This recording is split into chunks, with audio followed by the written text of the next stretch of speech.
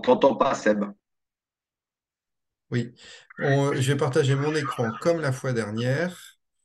Donc voilà, comme on vous avait euh, dit euh, la fois dernière, donc euh, quatre sessions de formation. Là, on est sur le deuxième workshop. La, semaine, la fois dernière, on avait fait le avant la compétition et donc là, on fait pendant la compétition. Alors, c'est un workshop qui est dense, qu'on a prévu dense. On, s'attend aussi à avoir beaucoup de questions, ce qui paraît normal vu, vu le sujet. Si vous voulez poser vos questions, euh, je vous invite euh, euh, à, le faire via le, le, module Q et R, questions et réponses, et pas dans le chat, de façon à ce que, en même temps que moi je défile la présentation, je puisse voir les questions que, que vous posez. Donc, comme je disais, c'est un workshop qui va être très dense. on attend de vous beaucoup de questions, j'imagine. Euh, parce que c'est vraiment le nerf de la guerre, puisque ça se passe pendant la compétition. Euh, si le workshop n'est pas fini à 21h30 et qu'on n'a pas fini de parler de tout ce qu'on voulait dire, ben, c'est pas grave, on en parlera la prochaine fois et on débordera sur l'autre euh, workshop. ce qu'il faut aussi rappeler, c'est que entre les workshops et même tout au long de l'année, n'hésitez pas à nous envoyer des questions sur ce qu'on a dit, aussi sur vos pratiques, et vous avez dit qu'il fallait surtout pas hésiter à nous donner des cas d'études. Donc, n'hésitez pas à nous faire remonter des cas et comme ça, on peut les analyser ensemble et, pouvoir discuter de tout ce qui se fait. Euh, alors, avant de rentrer dans le contenu du workshop euh, numéro 2, euh, avec, avec alors, Stéphane, j'ai envoyé des questions par l'intermédiaire de Camille, les recevez-vous alors, on a reçu pas mal de questions, euh, ouais, et, on a donné les réponses, je crois, à tous les mails qu'on avait reçus. Alors, je ne sais pas si euh, ça vaut le coup, Stéphane, que tu renvoies un mail à Camille pour qu'il nous le re-renvoie, euh, parce que sinon, ça veut dire qu'on ne l'a pas eu, ce mail. Parce que, on a, je crois, hein, Joachim, on a répondu à toutes les questions. Hein. Toutes les questions qu'on a reçues, oui. Qu'on a reçues, ouais. Donc, voilà. N'hésitez pas à, à les, à, les, refaire suivre soit à Camille ou soit à l'adresse arbitrage.ffbad.fr. Euh, euh, ouais, je vais l'écrire ici. Tac, saisir une réponse, c'est arbitrage.ffbad.org. Tac. Voilà. Euh, donc, avant de commencer le workshop, le workshop numéro 2, on voulait revenir sur quelques brefs éléments du workshop numéro 1. On a eu pas mal de questions sur euh, les remplacements des têtes de série. Donc, je vais laisser euh, euh, Joachim expliquer le tableau droite et puis après, j'insisterai sur, sur la partie gauche de la slide. Bah, Joachim, vas-y, tu peux. Bon, alors effectivement, nous avons eu beaucoup de questions sur le remplacement d'une tête de série. Et beaucoup de gens, ils remplacent un peu n'importe comment les têtes de série. En fait, c'est assez simple pour le remplacement d'une tête de série. Les têtes de série sont désignées au moment du tirage au sort Ensuite, on ne désigne plus de tête de série. Soit on la remplace, si c'est possible, euh, avec, avec, ou on ne la remplace pas du tout, ou on la remplace avec un statut. Je vais vous donner un exemple. Dans le cas numéro 1, la tête de série numéro 1 est forfait. J'ai des remplaçants à 500 points, à, à 300 points et un à 50 points. Alors pour la tête de série numéro 1, c'est très simple. Euh, tous les remplacements sont possibles, mais la personne ne prendra pas le statut de TS1. C'est-à-dire, on le remplace, mais il n'y aura plus de tête de série numéro 1. Ça, c'est le cas numéro 1. C'est le cas le plus simple. Le cas numéro 2, c'est le forfait de la tête de série numéro 2. Là, il y a deux possibilités. Si je prends nouveau le R1, il a 500 points. Ça veut dire le R1, il aurait plus de points que la tête de série numéro 1. Ça, ce n'est pas possible. Dans ce cas-là, le R1 ne peut pas rentrer dans le tableau et ne peut pas, euh, ne peut pas remplacer la tête de série numéro 2. Par contre, le R2 qui a 300 points points et le R3 qui a 50 points, lui, il peut remplacer, mais sans le statut de TS2. On, enlève le statut, le statut, il l'a plus. Et dans le troisième cas, euh, c'est le forfait d'une tête de série 3 quarts. Là, c'est pareil avec l'exemple. Si je prends le R1 500 points, le R2 300 points, ils sont supérieurs, à la tête de série 2 ou à la tête de série 1. Dans ce cas, ces remplacements ne sont pas possibles. Par contre, le, remplaçant numéro 3 qui a 50 points peut remplacer la, TS 3 quarts. Voilà, le tableau, il résume à peu près tout ce qu'on peut faire. Éventuellement, on peut vous envoyer ce tableau, il est sous Excel. Euh, on peut vous l'envoyer aussi, comme ça, vous avez un exemplaire. Tu souhaites compléter, Seb? Non, non, non, c'est très clair. hein.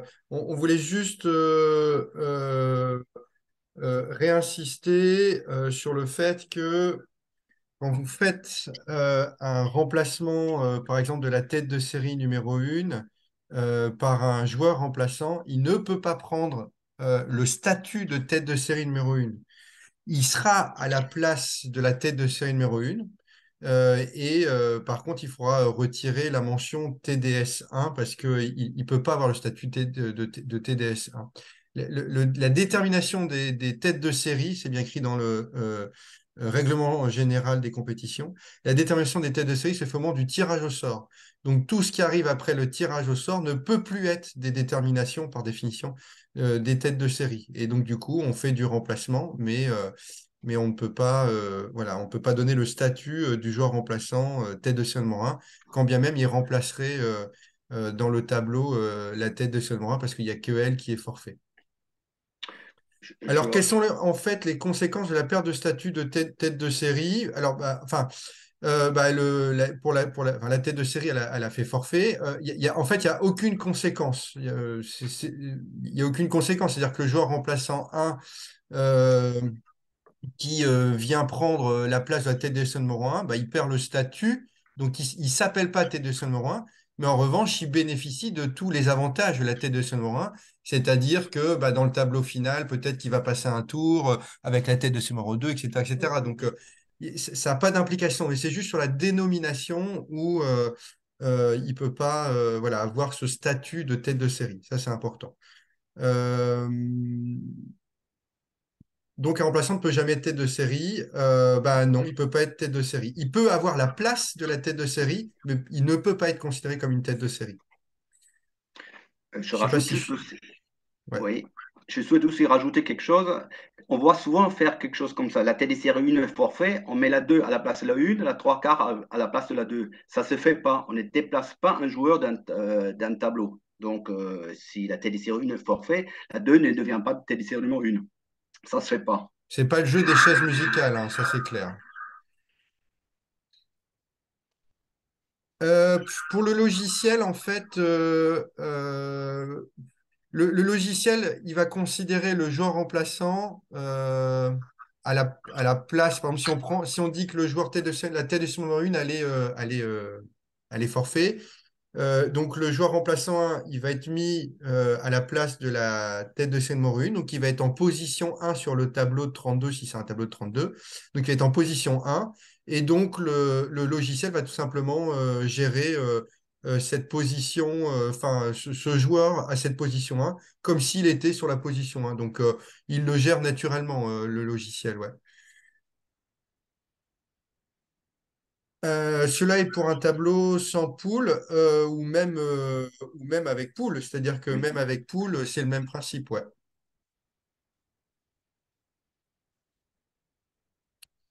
Est-ce que l'on peut remplacer la tête numéro 1 qui est forfait par la tête numéro 2 et ainsi de suite? Donc là, justement, non, ça, c'est pas possible. Euh, c'est pas le jeu des, des chaises musicales. On peut pas faire le jeu des chaises musicales. Euh, parce que si on fait jeu des chaises musicales, ça revient à refaire un tirage au sort complet parce que euh, il y aurait eu de multiples forfaits, etc. Mais ça, c'est pas conseillé. Voilà, c'est pas ce que nous dit le règlement.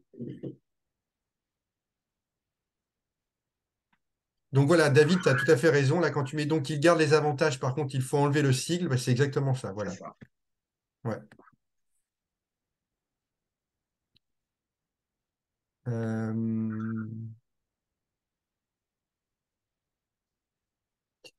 Euh, non, alors dans, le cadre d'une paire, si un des joueurs de T1 est forfait et remplacé par un joueur de même niveau, la paire garde son, de, son, statut, non, parce qu'en fait, c'est au moment du tirage au sort, on a euh, classé euh, la, tête de 1 avec cette paire-là. Et donc, c'est à cette paire-là qu'on a donné le, statut tête de série. Donc, même si on le remplaçait avec un joueur avec exactement le même nombre de points, c'est plus du tout plus la même paire. Donc, à partir du moment où c'est plus la même paire, il, peut, il perd forcément le statut. Dans le cas 2, si le R3 a moins de points, bah, je te laisse répondre, Joe, pour le cas. Alors, attends, j'essaie de lire. Dans le cas 2, si la R3 a moins de points que la TT série 3. Donc, là, attends, J'essaie de revoir, là, tout ça s'est effacé. À moins de points que la TT série 3 4, c'est possible de mettre à la place la TT série 2. Mettre à la place. Bah non, on, on- on ne bouge pas les TT séries. Non, non, on ne bouge pas les têtes de série. on, on les bouge pas. Pas de jeu de chaise musicale avec les têtes de série. Voilà. Euh, si on peut pas euh, remplacer la tête de série 1 parce qu'il n'y a pas de remplaçant, tout simplement, et bah du coup, euh, le, la- la- c'est vacant. Euh, la, le- la place est vacante. Ouais, c'est un, WO. Ouais, c'est un WO et c'est on le, on le gère comme tel, voilà. Et, oui, effectivement, le remplaçant premier de la poule A peut donc avoir un CPEH moins élevé que, que la TDS2, oui, mais euh, il n'aura pas le statut. Mais effectivement, c'est possible.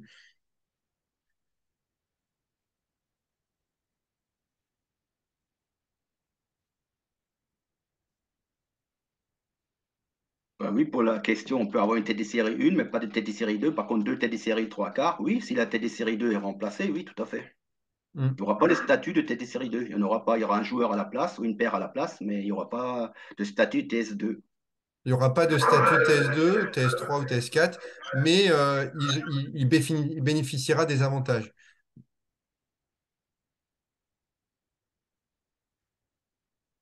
Et alors justement, Brigitte, c'est là où tu, tu soulèves un, un sujet. Euh, oui, mais alors on peut se demander avec une poule de 2 et une poule de 4 euh, joueurs, ce qui interdit le RGC, effectivement. Mais Euh, donc, euh, dans ces cas-là, je sais qu'une des pratiques courantes qui est réalisée par, par les juges arbitres, c'est de refaire un tirage au sort intégral. De toute façon, il faut suivre le règlement général de la, euh, enfin, le règlement général des compétitions. Donc, si c'est euh, la, le seul euh, façon de faire pour, pour, pour faire en sorte que ce, ce point de règlement soit Mais dans le calcul, si c'est une poule, une poule de 3 et un forfait, c'est une poule de 2. En réalité, c'est toujours une poule de 3 et le match W compte comme match. Donc, il y a toujours un seul match d'écart et pas deux matchs d'écart. Ce n'est pas les matchs réels joués, c'est un WO, ça compte comme un match. Donc, on respecte toujours les RGC. Parce qu'une poule de 2 tout seul, ça n'existait pas. C'est une poule de 3 avec un forfait. Si je comprends la question. Brigitte, tu veux reformuler la question pour être sûr qu'on comprenne?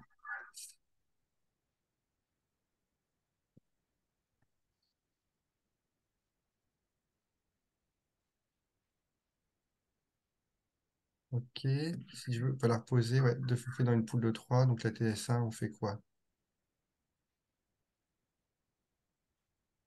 On est où là? T'es où là, Seb Euh, Régis qui pose la question, deux forfaits dans une poule de 3, dont la TDS1 par exemple, on fait quoi? Deux forfaits dans la poule de 3 bah, ça, bah, c'est- Dans l'absolu, ça peut arriver, mais bah, si vraiment euh, un tableau est déséquilibré, complètement déséquilibré, on peut refaire un tirage au sort. Et là, ça, on peut le faire. Après, ça peut arriver deux forfaits dans une poule, c'est rare, mais ça peut arriver. Mais ça veut dire qu'il y en a un qui sort de poule et un WO qui sort de poule.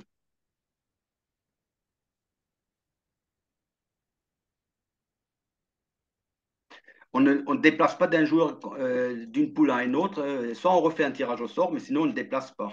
Si on commence à déplacer les joueurs d'une poule à une autre, euh, tout ça, donc c'est plus vraiment un tirage au sort.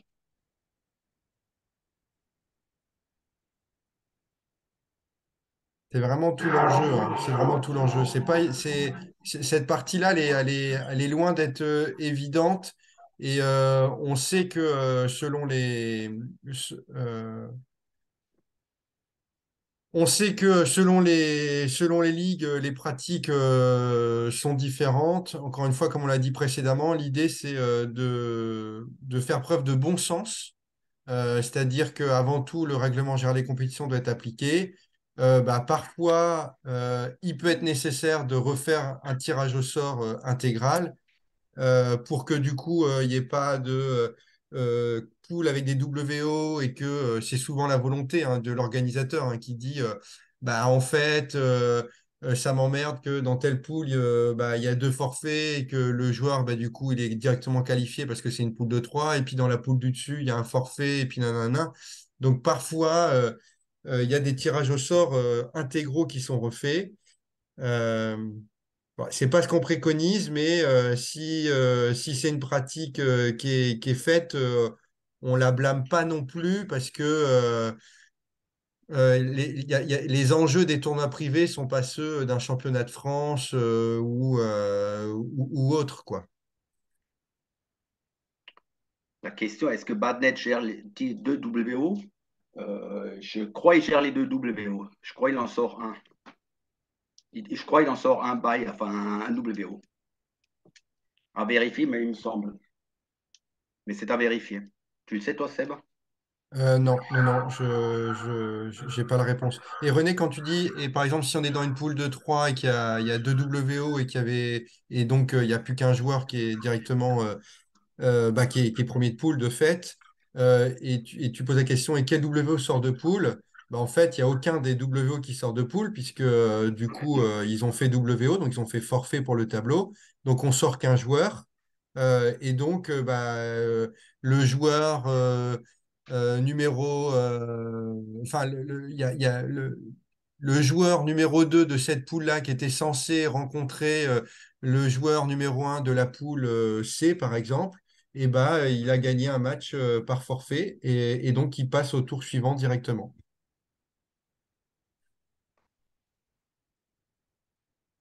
Si un joueur remplaçant est du même club qu'un des deux joueurs déjà présents dans la poule, quand on fait des remplacements, on ne prend plus en compte le- la, La, la- la provenance. la- la provenance, hein. La provenance, on la prend en compte au moment du tirage au sort. Donc lorsqu'il y a des remplacements qui sont faits, on ne prend plus en compte euh, la provenance des joueurs.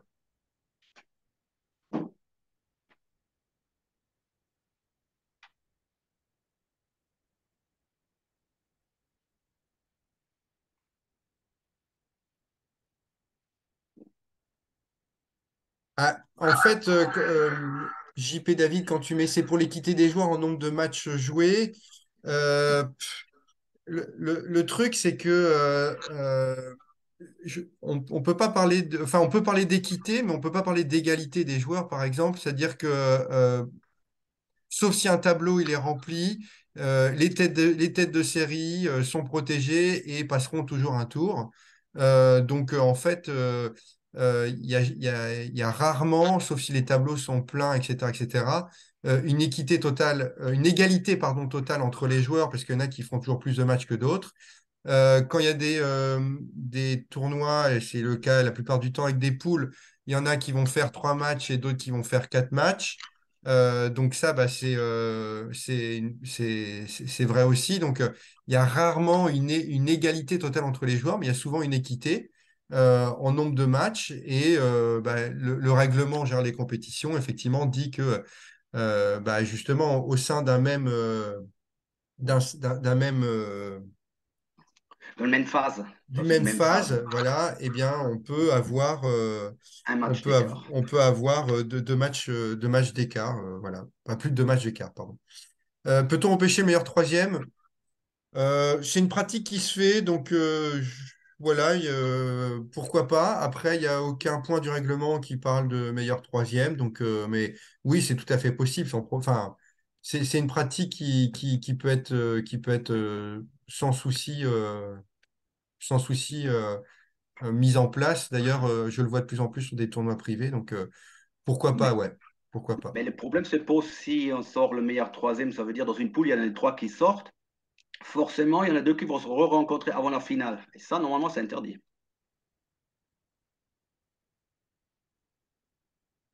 Et c'est pour ça qu'encore une fois, c'est pour ça que c'est pas écrit dans, euh, dans le règlement général des compétitions. Donc, euh, il y a ce risque-là, justement, euh, par rapport au règlement général des compétitions. Donc, c'est une liberté qu'il y a beaucoup d'organisateurs et de arbitres prennent. Pourquoi pas? Après, encore une fois, il faut faire preuve de bon sens. On n'est pas sur un championnat de France, on est sur des tournois privés. Euh, et donc, euh, bah, voilà, si on peut faire en sorte que euh, sur le tableau final, on puisse mettre un meilleur troisième, bah, pourquoi pas? Alors, dans la FAQ, c'est marqué qu'on peut faire, qu'on peut le faire, repêcher le troisième si, si le tirage au sort n'a pas été effectué, n'a pas été publié. Mais on peut faire beaucoup de choses si le tirage au sort n'a pas été publié parce que personne n'a Ouais, vu. Ouais, ouais, ouais, ouais. Oui, bien sûr. hein, typiquement, euh, effectivement, une fois que le, tu as raison, hein, Brigitte, hein, une fois que c'est, euh, une fois que le enfin, tout est publié, etc., on peut pas revenir en dire, bah, attendez, en fait, euh, non, on revient en arrière. C'est pour ça que lors du premier workshop, on disait l'anticipation, c'est vrai que c'est hyper important, de façon à pas publier trop rapidement ce que vous faites. Mais euh, voilà, potentiellement, euh, pourquoi pas, hein, ça, c'est possible, pour un meilleur troisième, et voilà avec cette petite limite que Jo euh, souligne sur le fait que bah, si on repêche un meilleur troisième, il y a des chances que, selon dans quelle partie du tableau il est mis, il rencontre une nouvelle fois quelqu'un qu'il a déjà rencontré dans les matchs de poule avant, bah, avant la finale. Joël, oui, on pourra te mettre des exemples avec des remplaçants. euh, on, on mettra des exemples, ouais.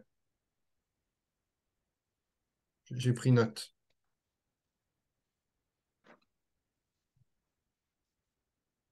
Euh, Est-ce que vous avez d'autres questions concernant euh, bah, ça, justement, les remplacements, etc., etc. Encore une fois, l'idée, c'est d'avoir des situations qui soient euh, euh, équitables pour tout le monde et euh, de s'assurer que les décisions que vous prenez sont bien en conformité avec le RGC pour éviter ensuite bah, de vous faire alpaguer par des coachs, des joueurs qui vous diraient, ah bah oui, mais t- t'as refait un truc, un tirage au sort, que c'est pas comme ça que ça se passe, ou etc., etc. Donc là, anticipez au maximum tout ça et, bien, et vérifiez bien euh, votre règlement général des compétitions pour vous assurer que vous êtes bien, bien en phase avec euh, ce- celui-ci lorsque vous prenez des décisions euh, concernant les remplacements, etc. Euh, ok, et puis euh, sur euh, le, le forfait, donc on, a- on avait une question aussi, après le tirage au sort ou après l'envoi des convocations sur euh, pour un forfait. Voilà, je te laisse répondre, Joe, et puis Oui, éventuellement. alors c'était beaucoup de questions là-dessus. Rien n'est vraiment écrit quelque part, donc ce que nous on, ce que nous on dit que l'idéal c'est de faire demander les, le justificatif après l'envoi des convocations. Sauf si vous mettez autre chose dans votre règlement complémentaire, mais sinon c'est après les convocations parce que c'est à l'issue de, des convocations que le joueur il sait s'il est inscrit ou s'il est remplaçant, enfin c'est la liste d'attente et tout ça. Voilà. Donc euh, ah, le mieux c'est après les convocations.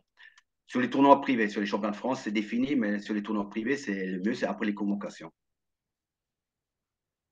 Donc ouais, ça c'est euh, euh, un point important hein, qu'il faut aussi avoir en tête. hein. Donc, pour répondre à ton, à ta question, euh, euh, Martine Reclus, donc dans le règlement général des compétitions, on nous dit qu'il faut deux têtes de série pour moins de 16 inscrits, quatre têtes de série pour 16, euh, de 16 à 31 inscrits, euh, bah, 8 têtes de série pour 32 à 63 inscrits et 16 têtes de série pour un nombre maximum, pour euh, 64 têtes de sé- euh, 64 joueurs ou plus, quoi. Mais voilà, sur le règlement des compétitions, c'est écrit de manière explicite. Si tu fais un contrôle F recherché dans le PDF du, règlement, tu tomberas directement euh, dessus hein, sur la question des têtes de série, du nombre de têtes de série. Alors, si le médecin refuse de faire un certificat, de toute façon, un joueur qui est absent, il doit se justifier. Donc, c'est clair. Donc, euh, bah, s'il ne se justifie pas, bah, il sera sanctionné. On ne peut pas faire autrement. C'est un peu le même principe sur les cartes d'identité pour les interclubs. On dit on n'a pas le droit de demander la carte d'identité. OK. Si le joueur refuse de nous la montrer, il n'y a pas de souci. Par contre, nous, on peut l'interdire la compétition. Là, c'est le même principe. S'il ne veut pas se justifier, il ne veut pas ou il ne peut pas, eh ben, il sera sanctionné. Euh, c'est écrit dans le règlement. Après, c'est rare qu'un médecin ne fait pas un certificat. Mais c'est vrai que malheureusement, euh, c'est le seul moyen euh, officiel euh, de, de pouvoir justifier, euh, par exemple, un, problème médical. Et donc, Bah, s'il refuse, malheureusement, on est obligé de le sanctionner. Et voilà, parce que sinon, après, c'est la porte ouverte. Si on autorise pour l'un, bah, les autres vont dire, ah bah oui, mais moi, mon médecin l'a refusé, etc. Et puis en fait, c'est sans fin. Donc là, pour le coup, il faut être relativement strict. Enfin, c'est pas relativement, il faut être strict sur ce point parce que sinon, le risque, c'est qu'après, bah, c'est la porte ouverte. C'est la porte ouverte, quoi, ouais.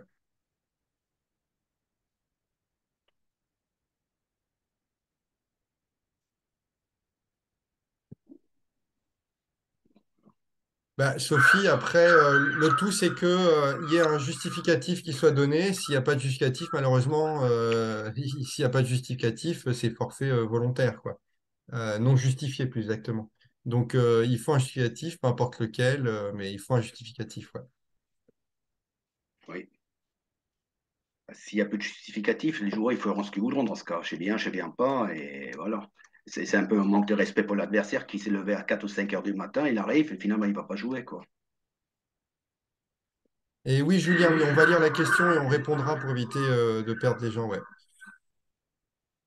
Euh, bah, euh, Stéphane, moi je suis. euh, donc la question qu'il met, c'est je pense que vous ne mesurez pas les conséquences dans les déserts médicaux. Je suis dans un désert médical, donc je vois très bien de quoi tu parles, mais malheureusement, les règlements ne prévoient pas de prendre en compte les questions de déserts médicaux, etc., etc. Donc on sait que c'est une problématique, mais il y a, peu de, euh, il y peu de, il y a peu de solutions, euh, malheureusement. C'est vrai que c'est un, c'est une difficulté. euh, il y en a qui ont plus facilement accès aux, médecins que d'autres et des rendez-vous, etc. Mais malheureusement, il n'y a pas trop le choix. Après, il reste, il y a quand même cinq jours pour, pour essayer de, pouvoir justifier son forfait. Donc, ça laisse un petit peu de temps pour essayer d'en trouver un. Ouais. Ok. Est-ce que, euh, n'hésitez pas à poser des questions. Je ne sais pas si on a répondu à toutes les questions. Si on n'a pas répondu à toutes les questions, n'hésitez pas à les reposer parce que du coup, j'ai mis. euh, euh, ouais.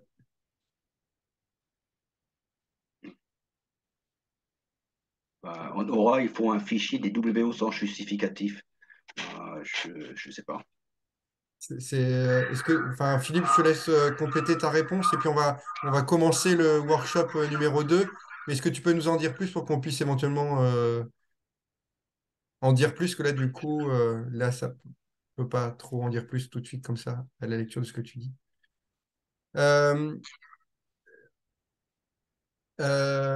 Concernant ce workshop numéro 2, euh, on va parler donc de l'avant-match et puis après, on va parler du pendant le match. Donc, euh, votre arrivée dans le gymnase doit, se faire euh, bah, les minimum au- une heure avant le premier match, euh, même si vous connaissez euh, le gymnase, parce qu'il y a plein de paramètres à aller gérer. Et parmi tous ces paramètres, on en a fait une liste et vous allez voir qu'il y en a plein. Tout d'abord, essayez d'aller regarder, enfin, c'est pas essayer, c'est faire un tour du propriétaire. Donc, regardez le plateau sportif, est-ce qu'il y a tout le matériel, regardez l'état du sol, l'état du marquage, etc. Ça, c'est ce qu'il faut faire en premier. Euh, pour la simple raison que euh, bah, si vous voyez que euh, les poteaux sont un peu braque-ballant, qu'il manque un filet, etc., c'est pas à 10 minutes du début de la compétition que vous allez vous en rendre compte. D'où l'intérêt de venir minimum une heure avant et de commencer ce tour par aller voir le plateau sportif, parce que si vous avez des choses à faire rectifier, ça laisse à l'organisateur du temps pour pouvoir rectifier euh, le tir. Donc ça, c'est vraiment hyper, hyper important. Euh, après, euh, les hauteurs sous poutre, les panneaux de basket et autres structures, bien évidemment, puisque là, vous allez directement inclure peut-être des instructions aux joueurs qui vont jouer ensuite pour des lettres, par exemple, au service et des fautes dans le match, etc. Les hauteurs des poteaux et des filets, typiquement, euh, ça, ça prend beaucoup de temps. Donc, si vous avez un adjoint, on vous conseille de lui laisser faire cette action. Et pendant ce temps-là, euh, une fois que vous avez fait le tour du plateau sportif, bah, vous revenez à votre, euh, euh, à la table de marque. Et puis peut-être que vous aurez des forfaits à gérer, etc. Donc, euh, si vous êtes tout seul, et bah, euh, c'est à, à vous aussi de vous coltiner ça. Alors, c'est bien la vérification, c'est pas le montage. J'insiste bien là-dessus, mais parfois il y a des juges arbitres euh, euh, qui, qui, qui, veulent aider euh, les organisateurs, c'est très bien, mais c'est pas leur boulot. Et peut-être que à la place d'aider l'organisateur à euh, monter un poteau ou un filet, bah, peut-être qu'il peut euh, faire le tour euh, du gymnase et checker qu'on on est bien sur les conditions de sécurité pour les joueurs. euh, et puis euh, faire d'autres checks ou faire d'autres trucs. Donc, euh, chacun son rôle, laissez l'organisateur le fait de monter les poteaux effilés et vous, vous venez juste contrôler qu'ils sont à la bonne hauteur et vous demandez des rectifications si besoin. Euh, à la table de marque, vérifiez qu'il y a tout le matériel. Euh, la trousse de secours, on en parlera un peu plus loin. la boîte du volant officiel de la compétition, ça c'est hyper important. Bah, si vous arrivez une heure avant, c'est bien de checker ça aussi assez rapidement de façon à demander à l'organisateur, bah tiens, est-ce que tu peux aller me chercher? Alors peut-être qu'il est oublié, donc il va falloir qu'il fasse aller-retour chez lui, etc. Donc ça peut prendre du temps. Et c'est pas au premier match où il y a un joueur qui va déjà pas être d'accord sur le volant que vous allez dire ah bah faut prendre le volant officiel et puis en fait vous rendre compte que bah en fait euh, bah, vous savez pas où il y a une boîte de volant volant officiel. Donc là on est encore une fois dans l'anticipation. Euh, le briefing de la table de marque. Alors bon, ça c'est aussi hyper important et ça prend du temps. Chaque table de marque, et vous l'avez tous expérimenté, a un fonctionnement différent. Euh, avec des fonctionnements qui peuvent être très efficaces ou des fonctionnements qui peuvent être très inefficaces. Et on va vous rétorquer si vous faites une proposition de changement. Oui, mais ça fait dix ans qu'on fait ce tournoi-là et qu'on est organisé comme ça et ça marche bien. Et dans la réalité, vous avez vite fait vous rendre compte que bah non, en fait, ça marche pas et c'est pas efficace. Donc bah là, il y a une forme de négociation euh, à avoir avec la table de marque. Si vous voyez que le fonctionnement n'est pas efficace ou qu'il ne sera pas, parce que là, vous êtes dans l'anticipation, euh, et là, on est bien euh, confère euh, workshop numéro un sur le management d'équipe et le rôle d'orchestrateur. Donc, vous devez organiser les choses. le briefing de la table de marque, bah, l'idée, c'est de voir alors qu'est-ce qu'on imprime, qu'est-ce qu'on n'imprime pas, qui fait quoi, qui fait l'annonce, nanana. Est-ce qu'il y a des rotations à la table de marque Oui, à quelle heure, etc., etc de façon à ce que vous ne vous retrouviez pas euh, à midi et demi euh, tout seul en train de prendre le micro pour faire les annonces au micro parce que euh, le seul géo à la table de marque, bah, lui, il est parti manger et qu'il n'y a pas de remplaçant. Donc là, vous devez aussi vous assurer de tout ça parce qu'encore une fois, chacun son rôle et vous n'êtes pas là pour pallier le manque d'organisation.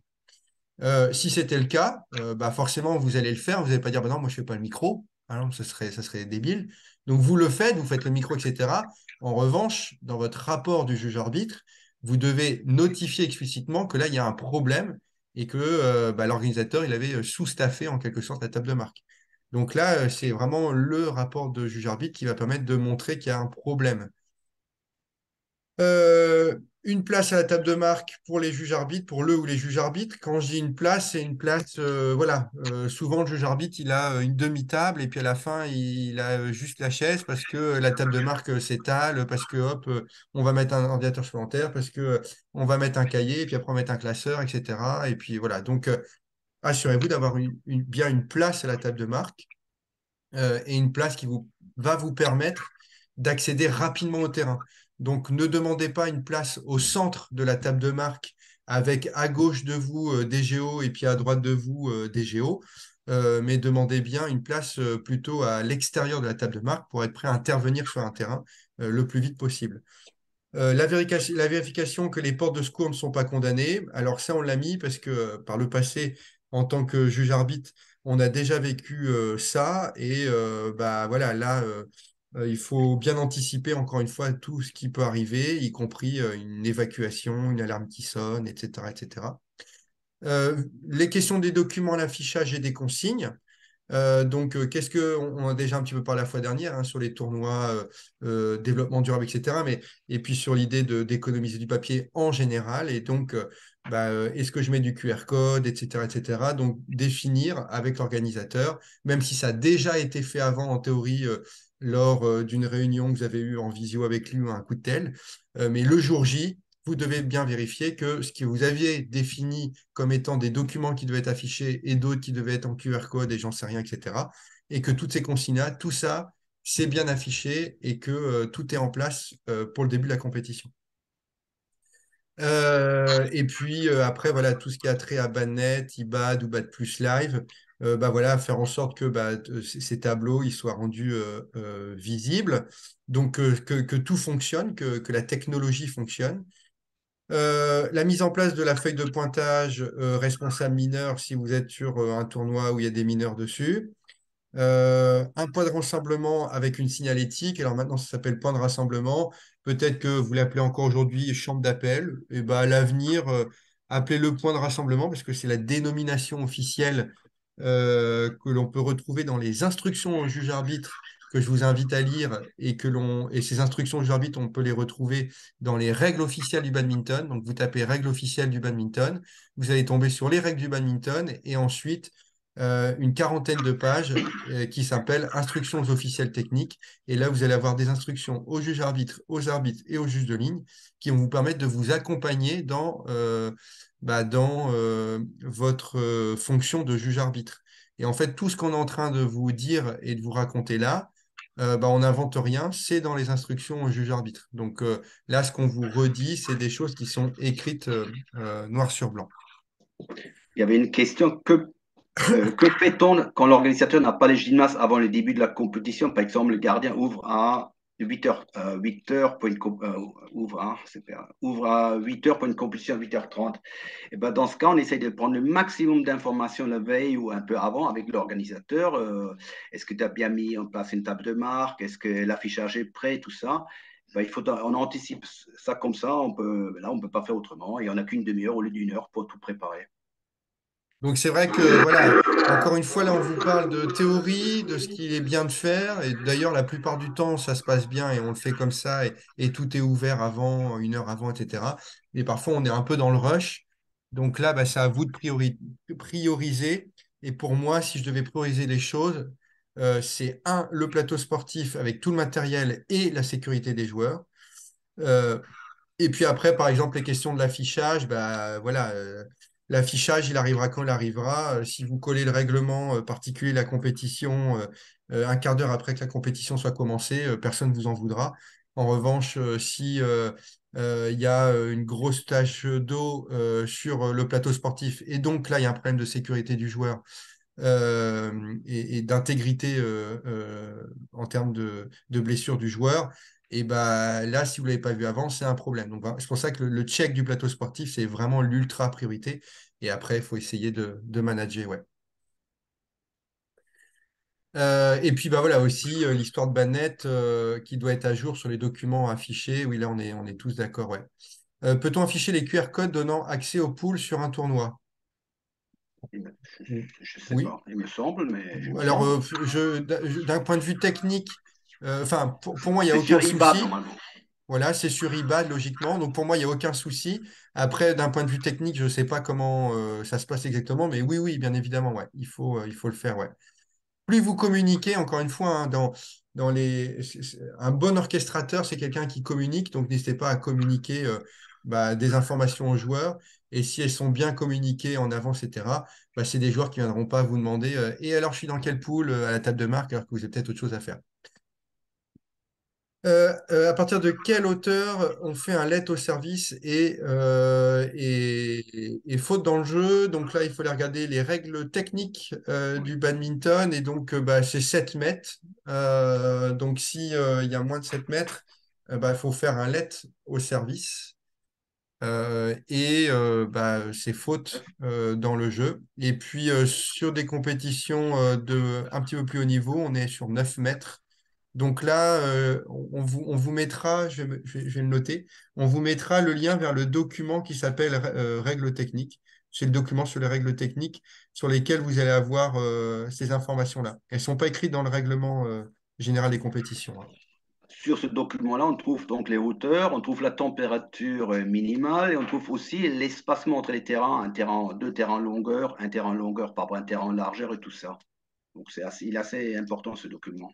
Ouais, alors, euh, une question, c'est pas 9 et 12. Bah, en fait, euh, euh, c'est 7 minimum. En fait, ce que nous dit les règles techniques, mais on vous mettra le document, c'est qu'en fonction du niveau de la compétition, c'est différent. Donc, typiquement, c'est 7 sur des compétitions, tournois privés, championnats départementaux, etc. Sur un championnat de France, c'est 9. et sur des tournois internationaux, c'est 12. donc, en fait, ça dépend du, du, niveau de la compétition. Ouais. Et le let au service ne s'applique qu'une fois, ouais. C'est-à-dire que le joueur a fait son service, hop, ça a tapé le filet de basket ou j'en sais rien. Euh, bah là, vous l'autorisez qu'une seule fois à refaire son service. Vous dites pas deux lettres au service, sinon on s'en sort plus. Deuxième fois, troisième fois. Et le risque d'autoriser euh, deux lettres au service, c'est qu'en fait, euh, imaginez que le joueur, moi je suis crevé, j'en peux plus et, je suis fatigué et, j'ai envie de casser le rythme avec mon adversaire, et bah, je vais jouer avec cette règle-là, et puis bah, je vais l'envoyer une fois exprès pour que ça tape, donc je vais pouvoir, avoir, euh, pouvoir resservir une deuxième fois, et puis je vais prendre mon temps, donc je vais resservir une nouvelle fois, etc. Donc là, l'idée, c'est aussi de garder la continuité du jeu, donc c'est un seul let au service. Et ça sera bien de le préciser dans votre règlement complémentaire. ouais. Et si ce n'est pas dans le règlement complémentaire, on peut le mettre dans les consignes à l'affichage aussi. Et oui, Nathalie, tu as tout à fait raison. Euh, pour les salles, euh, si elles ont été référencées par les ligues, euh, toutes ces infos-là sur la hauteur, sur est-ce que c'est hors sécurité, etc., etc., sur les poteaux, etc., tout ça, c'est disponible sur Puna en allant regarder la fiche information du, du, gymnase. Ouais. Exact. Merci de m'avoir précisé. Ouais. Euh, et si cela se reproduit sur les points suivants, bah, en fait, euh, il a le droit, j'ai envie de dire qu'il a le droit de le refaire. Euh, après, s'il en abuse, alors s'il y a des arbitres, c'est toujours mieux parce que l'arbitre peut faire preuve de discernement et s'il abuse, il peut lui faire une remontrance. Là, si c'est en auto-arbitrage, c'est un peu plus complexe. Donc, ça sera à vous de regarder s'il en abuse, etc., et de le rappeler à l'ordre et de parler de continuité du jeu, mais en même temps, euh, j'ai envie de dire, euh, puisque on, a mis une règle en place qui autorise à ce qu'il y ait un let, il, pourrait potentiellement en abuser. Heureusement, on n'a pas des joueurs pervers comme ça euh, sur le territoire qui, qui, jouent, qui jouent trop avec cette règle, mais on pourrait potentiellement avoir ce type de cas. Euh, Mathieu, en fin de journée, le sol devient de plus en plus glissant à cause d'une forte humidité pour, la salle, ce qui peut tout à fait arriver. Que faire? Arrêter la compétition pour raison de sécurité? Si oui, et que doit-on recommander aux organisateurs pour les joueurs qui devraient encore en lice pour les demi et les finales, par exemple? Euh, Ma réponse, elle est très claire et très nette, c'est la sécurité avant tout. Euh, donc, on ne fait pas jouer des joueurs si le sol est archi glissant et que c'est une patinoire. On ne fait pas jouer des joueurs s'il il y a une grosse tache d'eau et que euh, bah, il peut se fouler à tout moment. Donc, si euh, les demi-finales et finales ne peuvent pas avoir lieu, et eh ben, elles n'ont pas lieu, point. Voilà, c'est tout. Et donc, la compétition s'arrête euh, au quart de finale et basta. Voilà. et, ça arrive, c'est très rare, mais ça arrive. donc, encore une fois, l'idée, c'est d'anticiper.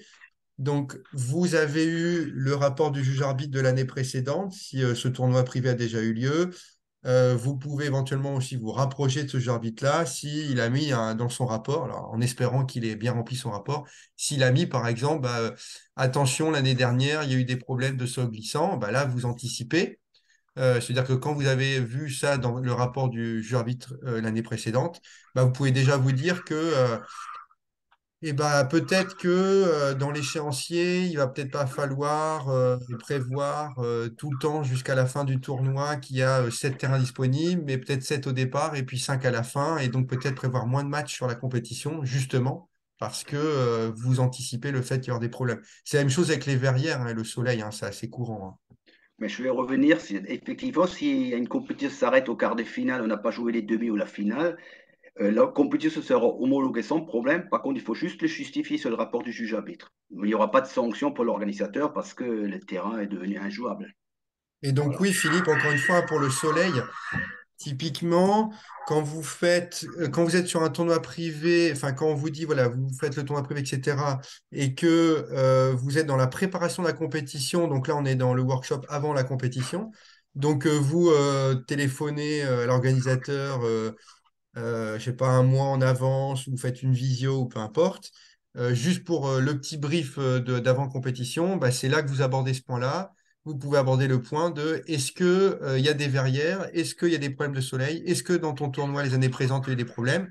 Et donc là, il faut l'anticiper et il faut bah, prévoir justement un nombre de matchs en conséquence, donc probablement revu à la baisse du fait que bah, euh, vous faites l'hypothèse qu'il y aura deux terrains qui vont être bloqués pendant euh, deux heures. Euh, si vous anticipez pas, le risque c'est que bah, ça arrive et forcément en général vous priez pour qu'il pour qu'il pleuve et bien tomber il fait super beau et donc ça arrive bien évidemment ce problème-là. Vous avez vous avez deux terrains pendant deux heures qui sont bloqués et là bah, vous foutez en l'air votre vous foutez en l'air votre, euh, euh, échéancier, et puis vous mettez plein de joueurs mécontents, euh, et du coup les joueurs ils vont dire ah bah oui mais l'organisateur ou machin etc.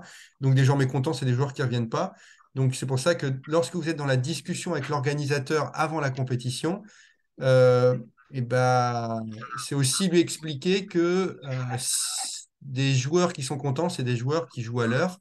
Et, euh, il ne faut pas prendre de risques inutiles parce que sinon, ça dégraderait l'image du tournoi plutôt que euh, plutôt que euh, qu'on aurait des, joueurs qui seraient super contents parce qu'ils ont deux heures de retard. Quoi. Alors, c'est pour dire que les GIA ne doivent pas faire jouer des joueurs avec des lunettes de soleil. effectivement, on ne va pas jouer avec des lunettes de soleil, sauf dans certains cas, si c'est une prescription médicale. Voilà, donc si prescription médicale, évidemment, il va jouer avec des lunettes de soleil. Ça peut arriver. Euh, en Normandie, on a quelques joueurs qui, euh, euh, avec des ont une prescription médicale. Mais sinon, effectivement, pour, il n'y a pas de raison qu'un joueur joue avec des lunettes de soleil. Donc non, les joueurs ne jouent pas avec des lunettes de soleil. Et c'est aussi pour leur intégrité physique et leur sécurité. Euh, si euh, il fait un smash et que la lunette les lunettes de soleil tombent et que euh, son pied tombe dessus ou peu importe. Donc voilà, les joueurs ne jouent pas avec des, des, lunettes de soleil sauf sur prescription médicale. Ouais. Euh, donc, on neutralise le terrain. Effectivement, Philippe, on neutralise le terrain et, euh, et, on n'oblige pas les joueurs à jouer euh, sur un, terrain où il y a du soleil parce que les conditions ne sont pas réunies. Encore une fois, hein, on est sur la sécurité et l'intégrité du joueur. je vais faire un... Donc, je, pousse, je suis arbitre, je pousse mes joueurs à jouer sur un terrain où il y a plein de soleil je me recule, je suis joueur, je me recule pour faire un smash. Et en fait, et eh bah, du coup, je suis ébloui par le soleil et euh, le fait de, m'éblouir, le cerveau, bah, il bug. Et du coup, hop, j'ai mon genou qui vrille, j'ai ma cheville qui brille ou j'en sais rien. Donc, euh, le, soleil ne permet pas de, jouer. Donc, on neutralise le terrain. Ouais. Et ben alors, la question de Guillaume, euh, et si un joueur refuse d'enlever ses lunettes de soleil, et ben vous lui dites que ça n'est pas partie de la tenue du joueur, confère règlement euh, des tenues euh, et que ce n'est pas partie des équipements du joueur, euh, confère règlement des tenues. Et donc, bah, c'est au juge arbitre, et là vous faites encore référence au, règlement des tenues qui dit que seul le juge arbitre décide de la tenue d'un joueur. Et donc vous lui dites que bah, la tenue n'est pas une tenue correcte pour jouer euh, au badminton, on n'est pas au, euh, beach volley, et donc euh, vous, l'interdisez. Et s'il ne veut pas jouer, bah, du coup, on peut considérer que c'est un forfait volontaire puisque le joueur décide euh, euh, pardon, c'est pas une question de forfait volontaire, parce que moi je suis trompé. Euh, J'étais parti sur un autre truc. Euh, on considère que le joueur ne respecte pas le règlement, donc dans ces cas-là, on, ne l'autorise pas, on l'autorise pas à jouer, voilà. Ou alors on le marque dans son rapport et bah, dans le rapport, ensuite on demande la convocation d'une commission ou en tout cas une sanction, peu importe laquelle, mais parce que il y a quelque chose qui n'a pas été respecté là.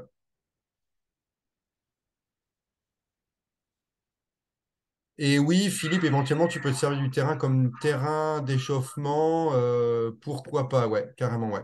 Si Soleil arrive au milieu du match, alors ça peut arriver, donc on suspend le match. Euh, parce que forcément, ça va, ça va déséquilibrer le truc. Imaginez, vous êtes au troisième set euh, et qu'on est à 11-12. Et bah, il y a un joueur qui va avoir le soleil dans les yeux et puis l'autre qui va jamais l'avoir parce qu'on est sur la dernière partie du match et que les joueurs ne retourneront pas à nouveau. Euh, donc, on suspend euh, le match jusqu'à temps euh, de trouver un nouveau terrain qui est disponible. Et dans ce cas-là, on décale les joueurs sur le terrain où bah, toutes les conditions sont réunies, c'est-à-dire qu'il n'y a pas de soleil. Et du coup, dans ce cas-là, on, fera ça, ouais. Mais il faut suspendre, il hein, ne faut pas faut pas obliger les joueurs à jouer dans, de telles conditions. Après, il y a des joueurs qui vont vouloir jouer aussi comme avec ça. Ça, c'est assez régulier, on le voit, hein, même, au, même sur, des championnats régionaux ou des tournois privés. On le voit, hein, le, joueur va dire Ah oui, mais là, le soleil me gêne. C'est à vous de décider si le soleil gêne ou pas. Euh, donc, si vous estimez que euh, le soleil ne gêne pas, ben, vous autorisez les joueurs à jouer, vous les invitez à jouer et ils doivent jouer. Euh, et donc, on peut appliquer un carton. Alors, euh, on ne met pas de carton pour un problème de tenue, si ta question est, liée euh, aux tenues. Donc, on ne l'autorise pas à jouer et, et, et point, quoi. Du coup, on ne l'autorise pas à jouer. Alors, c'est là qu'on voit la limite du règlement général des compétitions. Je m'explique. Au niveau international, si un joueur a une tenue qui n'est pas correcte euh, et, que le joueur arbitre te dit ta tenue n'est pas correcte, et ben forcément, derrière la sanction, c'est une sanction financière et il aura 50 dollars, 100 dollars d'amende parce qu'il il, a voulu jouer avec une tenue qui n'était pas correcte. Dans le règlement français, mis à part sur le championnat de France, euh, il n'y a pas de sanction financière. Parce qu'en général, cette sanction financière, elle est assez dissuasive. Et du coup, le joueur dit, bon, OK, euh, je retire mes lunettes ou OK, OK euh, je mets un maillot qui respecte le règlement. Donc, c'est là que nous, en tant que juge arbitre, on est, ben, on est un peu sans outils euh, pour euh, obliger euh, le joueur à changer de maillot, etc. Donc, si un joueur a un maillot pourri et qu'on lui dit non, on t'autorise pas à jouer et qu'il veut quand même jouer, et qui nous dit bah, montre-moi le règlement qui, t'interdit, qui me dit que je n'ai pas le droit de jouer et, et, que j'ai une sanction, etc., etc. Et ben là, en tant que juge arbitre, on est bien mal à l'aise parce qu'il n'y a aucune partie du règlement qui nous, dit qu'on n'a pas le droit d'autoriser un joueur à pas jouer son match parce qu'il a un maillot qui n'est pas correct. Euh, ça, on se le dit entre nous, bien évidemment, puisque euh, euh, on va dire que la plupart des joueurs euh, ne lisent pas le règlement général des compétitions. Donc, en général, on prend un, un ton autoritaire et on dit qu'on n'autorise pas à jouer son match. Et euh, le joueur va changer son maillot. Il dit OK, je vais changer de maillot euh, pour que je puisse jouer mon match. Mais c'est vrai que là, on est dans une situation qui est assez délicate. Je ne développe pas cette réponse parce qu'on on, l'abordera dans un prochain workshop, justement sur les tenues. Mais on, on, reviendra ouais, là-dessus. Ouais. Euh, si vous invitez, là, si c'est une question, euh, Guillaume, qui était sur appliquer un carton, par exemple, euh, dans le cadre de, de, de, deux joueurs, il y en a un qui se plaint parce qu'il y a un peu de soleil. Vous, vous venez sur le terrain et vous voyez qu'il bah, n'y a pas de problème de soleil, il y a juste un petit rayon, mais qu'il n'y a pas de problème de soleil de votre point de vue, et que le joueur ne veut pas reprendre le match. C'est vous qui avez la dernière décision. et donc, s'il ne veut pas prendre, reprendre le match, on peut considérer ça comme un retard de jeu et donc il peut être sanctionnable par un carton euh, jaune, puis rouge, si nécessaire, euh, pour retard de jeu. Euh, donc, si vous invitez le joueur à reprendre le match, il est censé le reprendre. Et s'il ne le reprend pas, il peut être sanctionné. Encore une fois, la couleur du carton, on en reviendra un peu plus tard, elle est très circonstanciée. David, bonsoir. Comment, concernant la tenue des joueurs, j'ai très souvent des cas où les joueurs n'ont pas de tenue de badminton, plutôt des shorts Salomon Trail ou Nike, plutôt orientés running, etc. Je ne vais pas répondre à ta question parce que c'est l'objet du prochain workshop. Donc, garde ta question et j'y répondrai au prochain workshop. Désolé de te frustrer, mais euh, voilà, on, en parlera au prochain workshop. Euh, Faut-il privilégier le blocage d'un terrain soleil par rapport au risque de euh, déborder au niveau de l'échéancier, par exemple, risque de dépasser 19 h le dimanche? Bah oui, il faut prendre ce risque-là. Et si, encore une fois, on doit faire les finales parce que est au-delà des 19 heures, on ne fait pas les finales. Euh, très clairement, systématiquement, sécurité euh, du joueur et intégrité du joueur avant tout. Euh, donc, bah, il n'y aura pas de finale. Et comme le disait Joe, les résultats peuvent être quand même remontés sur Puna.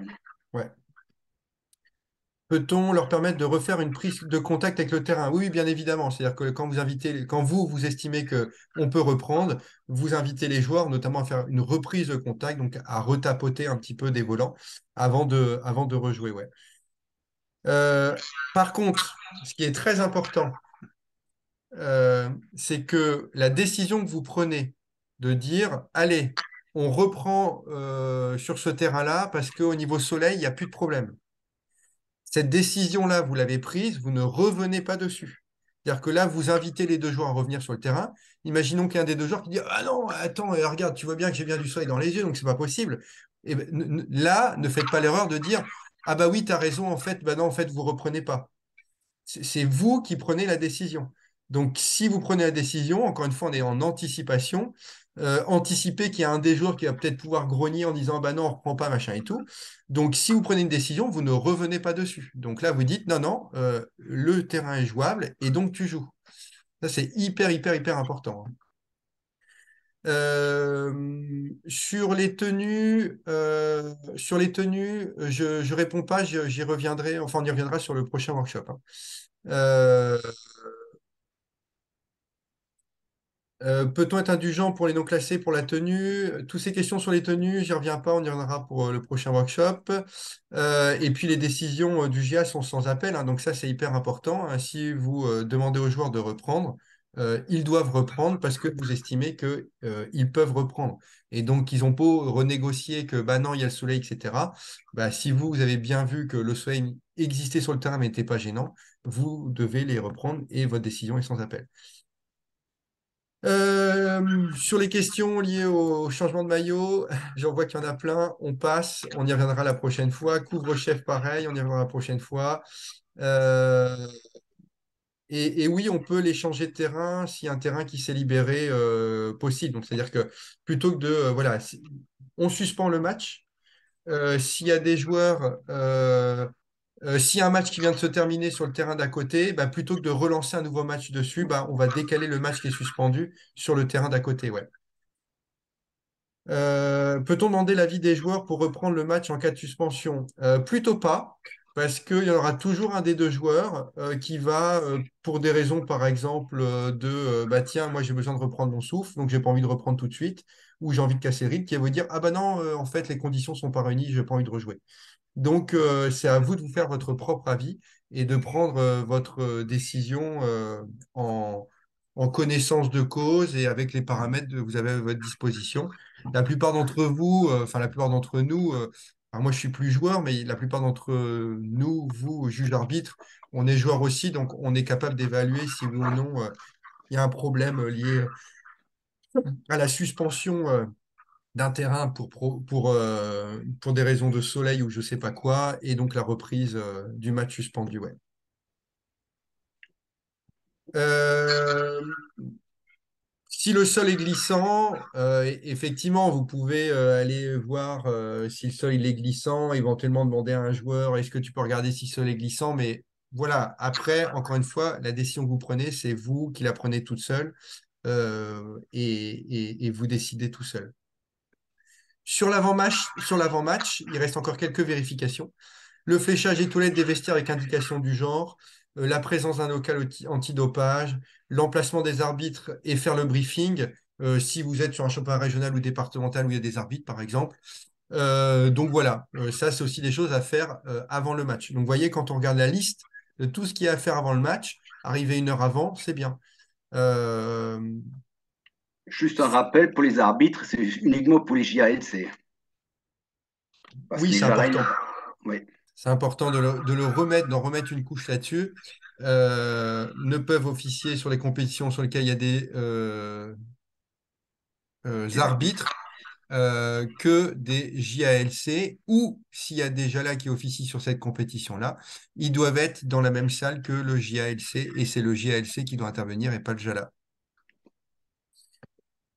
Euh, et donc, dès que les matchs euh, sont lancés, et ben, notre boulot n'est pas fini, sinon, sinon ça serait trop simple, bien évidemment. Euh, et donc là, on va, euh, eh ben, on va faire les autres vérifications. Donc, on peut poser des questions, alors peut-être pas le premier jour, enfin, sauf si le tournoi a lieu que sur une journée, mais on peut reposer des questions peut-être un peu plus loin dans la compétition sur les récompenses, quand elles auront lieu, est-ce que c'est après toutes les finales, est-ce que c'est c'est à la fin complète, donc une fois que toutes les finales ont eu lieu? Est-ce que, où est-ce où, où qu'aura lieu le, le- sera situé le podium? Est-ce qu'il y aura un photo, un photographe, etc. Donc, toutes ces questions, c'est des questions qui seront plutôt au fil de l'eau. Mais une fois que les matchs seront plutôt lancés, est-ce qu'il y aura des journalistes de prévus? Est-ce qu'il y aura euh, un maire, un élu qui viendra, etc. Ça, c'est important de le savoir parce que euh, peut-être que euh, vous allez faire un échéancier le dimanche pour les finales qui va être différent parce que euh, euh, vous allez vouloir lancer au moment où l'élu va venir euh, un match de double homme euh, plutôt qu'un match de simple dame, etc., etc. Enfin voilà. Euh, la gestion des forfaits euh, et mettre à l'affichage euh, les éventuels euh, changements. Donc ça, ça va être au, coup, au fil de l'eau. hein. et, puis, et puis, une fois que vous avez fait tout ça, c'est parti. Donc, et, une longue journée va commencer. Parce que, effectivement, notre boulot, il, est, il, est, il, est, il est dense, y compris pendant la compétition.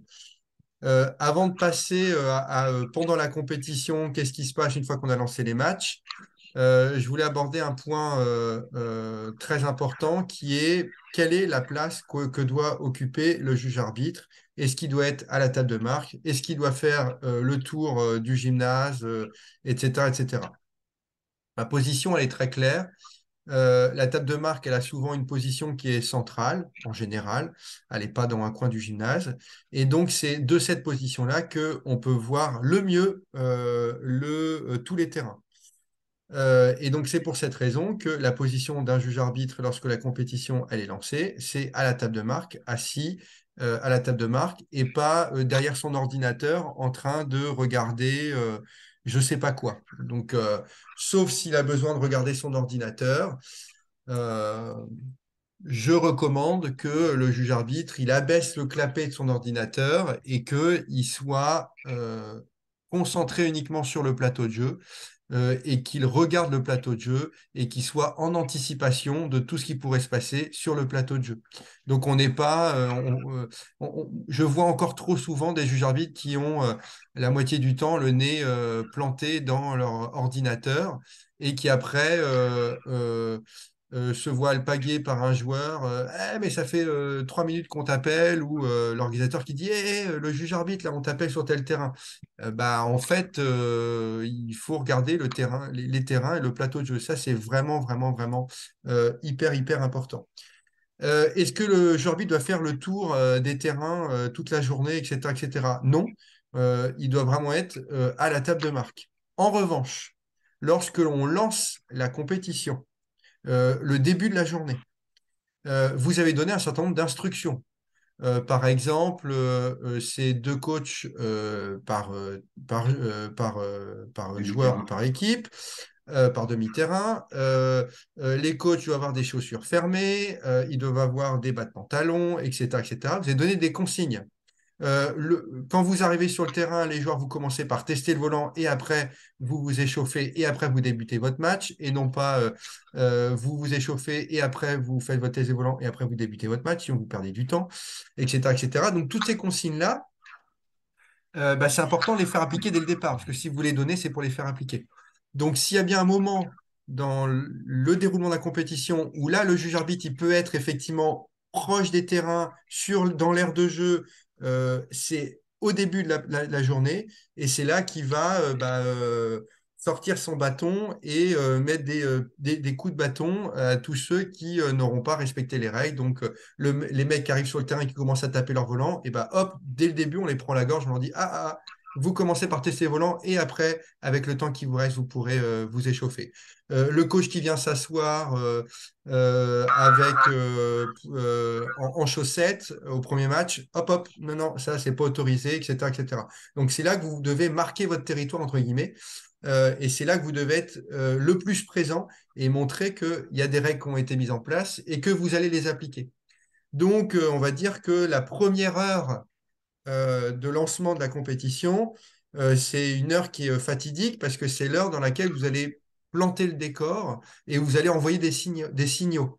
Et, ces signaux, euh, bah, s'ils ne sont pas envoyés comme il faut, et eh bah, vous allez vous faire bouffer pendant le reste de la compétition.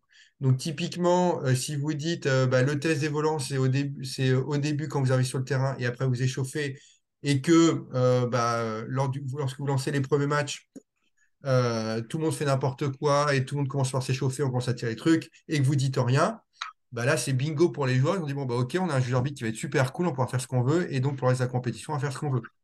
Euh, et vous aurez beau euh, aller les voir au bout du troisième ou quatrième match pour leur dire et il faut que tu commences par tester tes volants avant de commencer à t'échauffer. Il va vous dire non mais attends depuis le début de la compétition on fait comme ça, pourquoi on ferait autrement, etc., etc. Donc là vous allez rentrer dans des négociations qui, qui n'ont pas à avoir lieu. Donc on plante le décor, euh, entre guillemets, on prend à la gorge les joueurs en leur montrant qu'il y a des règles, on va les appliquer. Et puis, euh, quand vous voyez que tout euh, roule tranquillement, là, vous pouvez bah, vous asseoir à la table de marque et, et bah, tout simplement contrôler le jeu, le lancement des matchs, etc., etc., etc. éviter de faire le tour du gymnase et de jamais être à la table de marque et de faire tout le temps le tour du gymnase. Euh, typiquement, euh, c'est ce que je faisais avant et je le fais plus du tout. Pourquoi? Parce qu'en fait, je me fais alpaguer par un, par un président de club qui me dit, Ah bah tiens, j'avais une question à te poser. Euh, et puis après, je fais alpaguer par un joueur. Ah bah tiens, ça va, bah tiens, la semaine dernière, tu étais en tant que joueur, bah t'as vu, là, tu es, en tant que juge arbitre, etc., etc. Donc en gros, on, commence à papoter avec les joueurs, avec des coachs, avec des présidents de club, etc. Et pendant ce temps-là, bah, on contrôle plus du tout ce qui se passe sur le terrain, sur les terrains, et on peut passer à côté d'une action, d'un problème, etc. Donc, c'est aussi pour ces raisons-là que, euh, que, que, si on commence à tourner euh, et être dans un coin du gymnase, on ne voit pas l'autre bout du gymnase, etc. etc. Donc, c'est pour ça que la place du juge-arbitre, elle est bien euh, à la table de marque et pas la plupart du temps, bien évidemment. Ça n'empêche pas de faire une, ronde de temps en temps, mais la, la, place, elle est avant tout la table de marque. Il y avait une question, parce que je parle beaucoup là, il y avait une question, donc une instance organisateur Ligue Fédé impose une cérémonie officielle dans le cours de la compétition sans en informer le GIA ni lui demander son avis. Que faire? Euh, Alors, dans les instructions au juge arbitre, c'est écrit noir sur blanc que le juge arbitre doit participer justement euh, à, Enfin, en tout cas, doit être informé, doit participer euh, à la construction en fait de cette cérémonie officielle. Euh, et, donc, dans ce cadre-là, bah, c'est important, dès qu'on est au courant qu'il y a des choses qui sont en train de se mettre en place euh, euh, sur une cérémonie officielle et vous n'êtes pas au courant, c'est important, dès que vous êtes au courant qu'il y a quelque chose qui se trame sans vous, de vous imposer et de vous dire, je suis le responsable de la compétition, puisque vous êtes l'orchestrateur et vous êtes le responsable de cette compétition. Euh, et que dans la compétition, il y a aussi la cérémonie qui fait partie de la compétition, et donc vous êtes aussi responsable de la, cérémonie. Même si ce n'est pas vous qui êtes euh, l'organisateur de la cérémonie, vous en êtes le responsable. Euh, ces questions, il faut le faire. Sur ces questions, il faut le faire toute la journée, car on a des vagues successives sur la journée de joueurs qui arrivent. Alors effectivement, tu as raison, Hélène. Bien évidemment, on le fait au début pour marquer son territoire et euh, voilà, comme je disais, euh, montrer qu'on est là, etc. On vient se rasseoir, etc. Et euh, bon, voilà, si à un moment donné, deux ou trois heures plus tard, il y a des joueurs qui commencent à oublier volontairement, involontairement, qu'il faut commencer par tester le volant, par exemple, avant de, s'échauffer, bah là, hop, vous refaites une petite ronde et effectivement, vous allez leur rappeler des règles parce que, comme tu le mentionnes, il y a des joueurs qui peuvent arriver en milieu de journée et qui n'ont pas été au courant des règles euh, dont vous avez parlé au début de la compétition le matin. Donc, c'est important aussi de refaire quelques rondes. Mais voilà, ces rondes, euh, voilà, essayez de les de pas euh, voilà de de, de, pas les en, faire que vous allez passer sur 10 heures de, journée de, compétition, vous allez passer 8 heures debout et, et 2 heures assis. Euh, les joueurs d'un certain niveau sont souvent spécialistes pour ne pas respecter les tests des volants, puis prise de contact, puis début du match. Que fait-on si au bout de leur énième match, ils refont le coup? Et bah, au bout de leur énième match, ils refont le coup. Et bah, il faut leur, euh, euh, pour une énième fois leur répéter les choses. On n'a pas trop de moyens de sanctionner. Je vois pas comment on pourrait mettre un carton pour ça parce que voilà, il n'y a pas de, il a pas de, il a pas de, fait de match. Il n'y a pas de fait de match, voilà. Euh, donc, euh, il n'y a, pas, a pas de raison de mettre un carton. Euh, on pourrait éventuellement le reporter dans le rapport du juge-arbitre en disant bon bah en fait je vais je, te préviens que créé dans le rapport du juge-arbitre que bidule machin a jamais respecté les règles etc etc non mais voilà, on ne peut pas faire grand-chose. Donc, c'est pour ça, encore une fois, que euh, euh, le rôle du juge-arbitre, il n'est pas évident. Il n'est pas évident. Et, le, rôle du juge-arbitre, avant d'être un rôle de, chercher à appliquer les règles et des, règles techniques, pour moi, le rôle du juge-arbitre, c'est avant tout un, rôle euh, de management humain. Euh, et donc, c'est là qu'il va falloir faire preuve de pédagogie, il va falloir faire preuve aussi parfois d'empathie par rapport aux joueurs, mais aussi en même temps faire preuve de, euh, fermeté euh, dans les cas où c'est nécessaire. Et donc, bah, il faut un, bon juge-arbitre, c'est un juge-arbitre qui sait à la fois manier la carotte et le bâton, le chaud et le froid, etc. Donc, c'est une position qui, qui est extrêmement difficile. Et, en plus, vous rajoutez par ça nos caractères respectifs, individuels. moi, je suis un sanguin, moi, je suis un mou, etc., etc. Et là, on voit tout de suite que bah, il y a une vraie complexité à, être juge-arbitre et une vraie. Enfin, c'est pas évident d'être juge-arbitre. et, et voilà, c'est du management humain avant tout. Euh, avant, euh, des, avant d'être, euh, enfin, pour moi, on est des managers de personnes avant d'être des gens qui cherchent à faire appliquer des règlements. que devient le briefing du arbitre en début de compétition? Il y a plusieurs pratiques. Jo, comment tu fais, toi? Moi, j'ai ma pratique, mais voilà, il y a plusieurs pratiques. Alors, moi, j'ai arrêté le briefing au début parce que quand on fait un briefing au début, ça veut dire qu'il y a 20 pèlerins dans le gymnase, c'est les 20 premiers joueurs qui vont jouer et les autres qui arrivent après, ils n'auront rien entendu. Moi, je fais un consigne des joueurs, comme on avait parlé dans le workshop numéro 1. Dans les consignes des joueurs, j'ai écrit dessus, ben, le coach doit être comme ça, les lettres et, et toutes ces choses-là. Et ça, c'est affiché au plusieurs endroits. Et moi, je pratique ça comme ça. Parce que pour moi, le briefing au début à 8 h du matin ne sert à rien. C'est juste pour la première rotation, c'est tout. Ça, c'est mon avis. Ouais, moi aussi, en fait, c'est ce que je fais aussi. C'est-à-dire que à quoi bon faire une annonce quand il n'y a pas beaucoup de gens le matin, etc. Et sachant que dans l'après-midi, il y en a d'autres qui vont arriver, qui n'ont pas entendu l'annonce et pourquoi on la ferait pour, eux et pas pour d'autres, etc. Donc, euh, bah voilà, il y a, on prévoit un affichage dédié. Après, euh, il y a aussi des juges arbitres qui, euh, qui euh, demandent à l'organisateur de faire cette annonce malgré tout au début de la compétition. Moi, j'y vois pas d'inconvénient. même s'il y a 20 pecnos dans le gymnase ou même s'il y en aurait beaucoup plus, bah, tant mieux. Enfin, voilà. Encore une fois, c'est une question de communication. Donc, bah, voilà, il y a une communication écrite, c'est affiché. Et puis, bah, vous pouvez la doubler d'une communication orale au début de la compétition. Euh, moi, je ne le fais plus, mais il y en a qui le font. Et euh, franchement, il n'y a pas de bonne ou mauvaise pratique. Donc, je n'ai pas de, j'ai pas de souci avec ça si euh, vous voulez quand même prendre le micro et faire ces annonces-là au début. voilà, je sais pas. Concernant le test volant, par contre, plusieurs fois dans la journée, à la limite, on peut faire un rappel, pas, pas micro. On vous rappelle que le test volant, ça se fait au début. Ça, par contre, on peut le faire sans problème. Ouais, exactement, oui. Euh, alors, il y a une question de, de, Elsa. Certains joueurs ne peuvent pas tester leur volant de suite car ils disent ne pas être chaud et qu'ils ne, et qu'ils se font mal au bras. Que dire? Euh, et ben, il faut leur dire que euh, bah, il y a les joueurs d'à côté qui se sont échauffés avant. et donc, du coup, que si c'était échauffé aussi avant, parce que bon, les, les joueurs, ils arrivent les, joueurs, par exemple, le matin à 8 h euh, euh, quand ils arrivent et que début de la compétition, c'est 8h30, par exemple, bon, ils aiment bien tapoter un peu. Donc, euh, voilà, il faut que tout le monde joue au jeu, tout le monde tapote un peu, etc.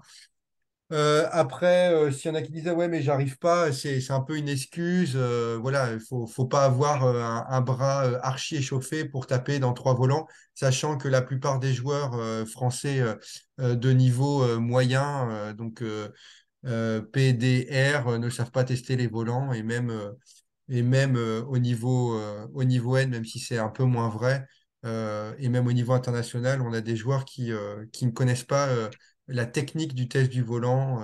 donc, voilà, je pense qu'il faut juste leur demander quand même de tester le volant, même s'ils ne sont pas chauds, parce que voilà, c'est la règle qui a été décidée. Si vous leur dites, bon, ok, allez, allez-y, testez le volant, échauffez-vous et après vous testez le volant. Bah, vous pouvez être sûr que sur le terrain d'à côté, il y a des joueurs qui vont dire Alors pourquoi tu autorises, eux, à tester leur volant après ça t'a échauffé et nous, tu ne nous autorises pas? Donc en fait, c'est un cercle sans fin. C'est pour ça que, encore une fois, on est vraiment dans l'anticipation des décisions que vous allez prendre. Si vous l'autorisez à l'un, vous l'autorisez à tous. Donc si vous l'autorisez à personne, vous l'autorisez à personne. Sinon, vous allez au devant de problèmes. Il y a forcément des gens qui vont dire et pourquoi lui et pourquoi pas moi? Donc, euh, la personne, elle a beau dire je suis pas chaud, j'ai mal au bras, tu fais euh, ton test de volant. Euh, et, et, de toute façon, il y a beaucoup de chances pour qu'ils ne savent pas, pour, pour qu'ils ne sachent pas le faire. Et, et de toute façon, le, test sera probablement pas fait en conformité. Et voilà. Il faut juste pas oublier non plus que normalement, c'est pas un échauffement, c'est un temps de préparation. Donc, un temps de préparation, c'est prendre le, voir le terrain, comment il est, il y a d'hygiène, il n'y a pas d'hygiène, lumière et tout ça. C'est ça, normalement, le temps de préparation. Le joueur qui dit je m'échauffe pour vraiment être chaud, euh, c'est pas en deux minutes ou en trois minutes qu'il est vraiment chaud, chaud.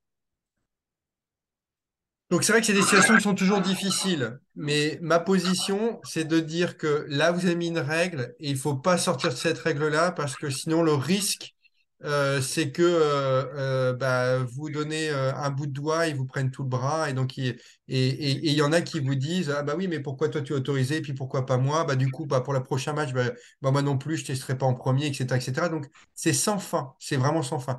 Donc là pour le coup il faut faire preuve d'autorité, enfin de fermeté, et de, et de, et de dire que bah, tu fais ton test, et, parce que c'est la règle, et c'est la même règle pour tout le monde. Voilà. Et qu'il n'y a pas d'exception à la règle pour monsieur ou madame machin. Euh, alors, euh, il y a une question qui m'est tout à fait d'accord, mais parfois la table de marque est à l'étage. Alors, ça peut arriver. Euh, et moi, ça ne me choque pas. J'ai déjà vu des joueurs le faire. Il y a une table de marque à l'étage. alors, si possible, euh, si vous êtes deux juges arbitres, eh ben vous mettez une toute petite table du juge arbitre adjoint euh, sur le plateau de jeu, enfin pas sur le plateau de jeu, mais euh, à proximité du plateau de jeu, donc qui n'est pas dans les gradins, qui n'est pas dans les tribunes, qui n'est pas dans les tâches. Et comme ça, bah, le juge arbitre là, il a un accès direct au plateau de jeu. Et, sinon, dans tous les cas, euh, peu importe là où vous allez, vous devez être, vous, êtes, parce que là c'est une situation un peu délicate, parce qu'il y des étages ou des gradins, etc. Il faut que vous ayez un accès quand même assez, vous assurer d'avoir un accès assez rapide euh, au plateau de jeu, ouais. Ça peut arriver, hein, encore une fois, hein, Christine, tu dis, si la table de marque n'est pas centrale ou la place du GIA euh, enfin voilà, ça peut arriver que des tables de marque ne, sont pas centrales, mais de toute façon, euh, euh, un JA qui même n'est pas sur une qui est assis sur la chaise sur une table de marque n'est pas centrale, s'il est assis et qu'il regarde qu'il a une vision 180 degrés du plateau de jeu, il verra beaucoup plus de choses que si, encore une fois, il se balade euh, autour du gymnase et qui fait trois fois le tour du gymnase et qui se fait alpaguer par euh, euh, des joueurs, des machins, etc. et qui discutent ou que machin et qu'au final, il, verra forcément moins. il verra forcément moins. Et, et après, si vous dites que bah, vous, la table de marque, vu comment elle est positionnée, ça ne me convient pas, bah, anticipation, vous arrivez à, vous arrivez euh, une heure avant, vous demandez si c'est possible de déplacer la table de marque, et si ce n'est pas possible, et eh ben, du coup, vous demandez au moins avoir une table, une table euh, au milieu euh, du gymnase, et, vous, vous êtes dessus, et, et, vous faites des allers-retours. C'est vraiment pas l'idéal. Hein. Encore une fois, les situations sont tellement particulières. Donc là, on, parle de généralité. On dit voilà ce qui est bien dans l'idéal. Mais encore une fois, selon les configurations des gymnases, avec étage, sans étage, euh, une table de marque est forcément à, droite du gymnase, euh, dans un coin, parce qu'en fait, c'est là, c'est le seul endroit où il y a des, ou des prises, etc., etc. Tout ça, c'est des configurations que nous, euh, on a vécu, on a vu, etc. Donc, bien évidemment, il y a la théorie et après, il y a la pratique. Mais voilà un peu dans l'idéal ce que nous, on aimerait voir. Voilà. Donc, effectivement, il y a, y a, rarement des, tournois parfaits où euh, tout est bien mis, etc. etc. mais c'est un peu ce qu'on essaye de, préconiser. Ouais. Euh, petit retour sur l'avant-compétition. Doit-on demander si la buvette a bien reçu l'autorisation de vente de la bière, notre rôle ou celui de la mairie? C'est plutôt celui de la mairie. Euh, mais après, vous pouvez quand même demander, enfin, vous pouvez quand même le rappeler à l'organisateur. C'est plutôt le rôle de la mairie, hein. mais vous pouvez quand même le rappeler à l'organisateur, ça mange pas de pain. Euh, ça mange pas de pain, ouais. Par contre, à vous de veiller que les joueurs de la buvette avec la bière ne viennent pas sur le plateau sportif. Parce que sur le plateau sportif, il n'y a pas d'alcool. Oui, ça c'est hyper important. Euh. Tout comme il n'y a, a, pas de joueurs de foot euh, qui viennent euh, jouer avec une bière à la main, ben voilà, il n'y a pas de joueurs ou de coach qui viennent avec une bière à la main sur le plateau sportif. Euh, retard de jeu, pour interrogation, le match est malgré tout lancé.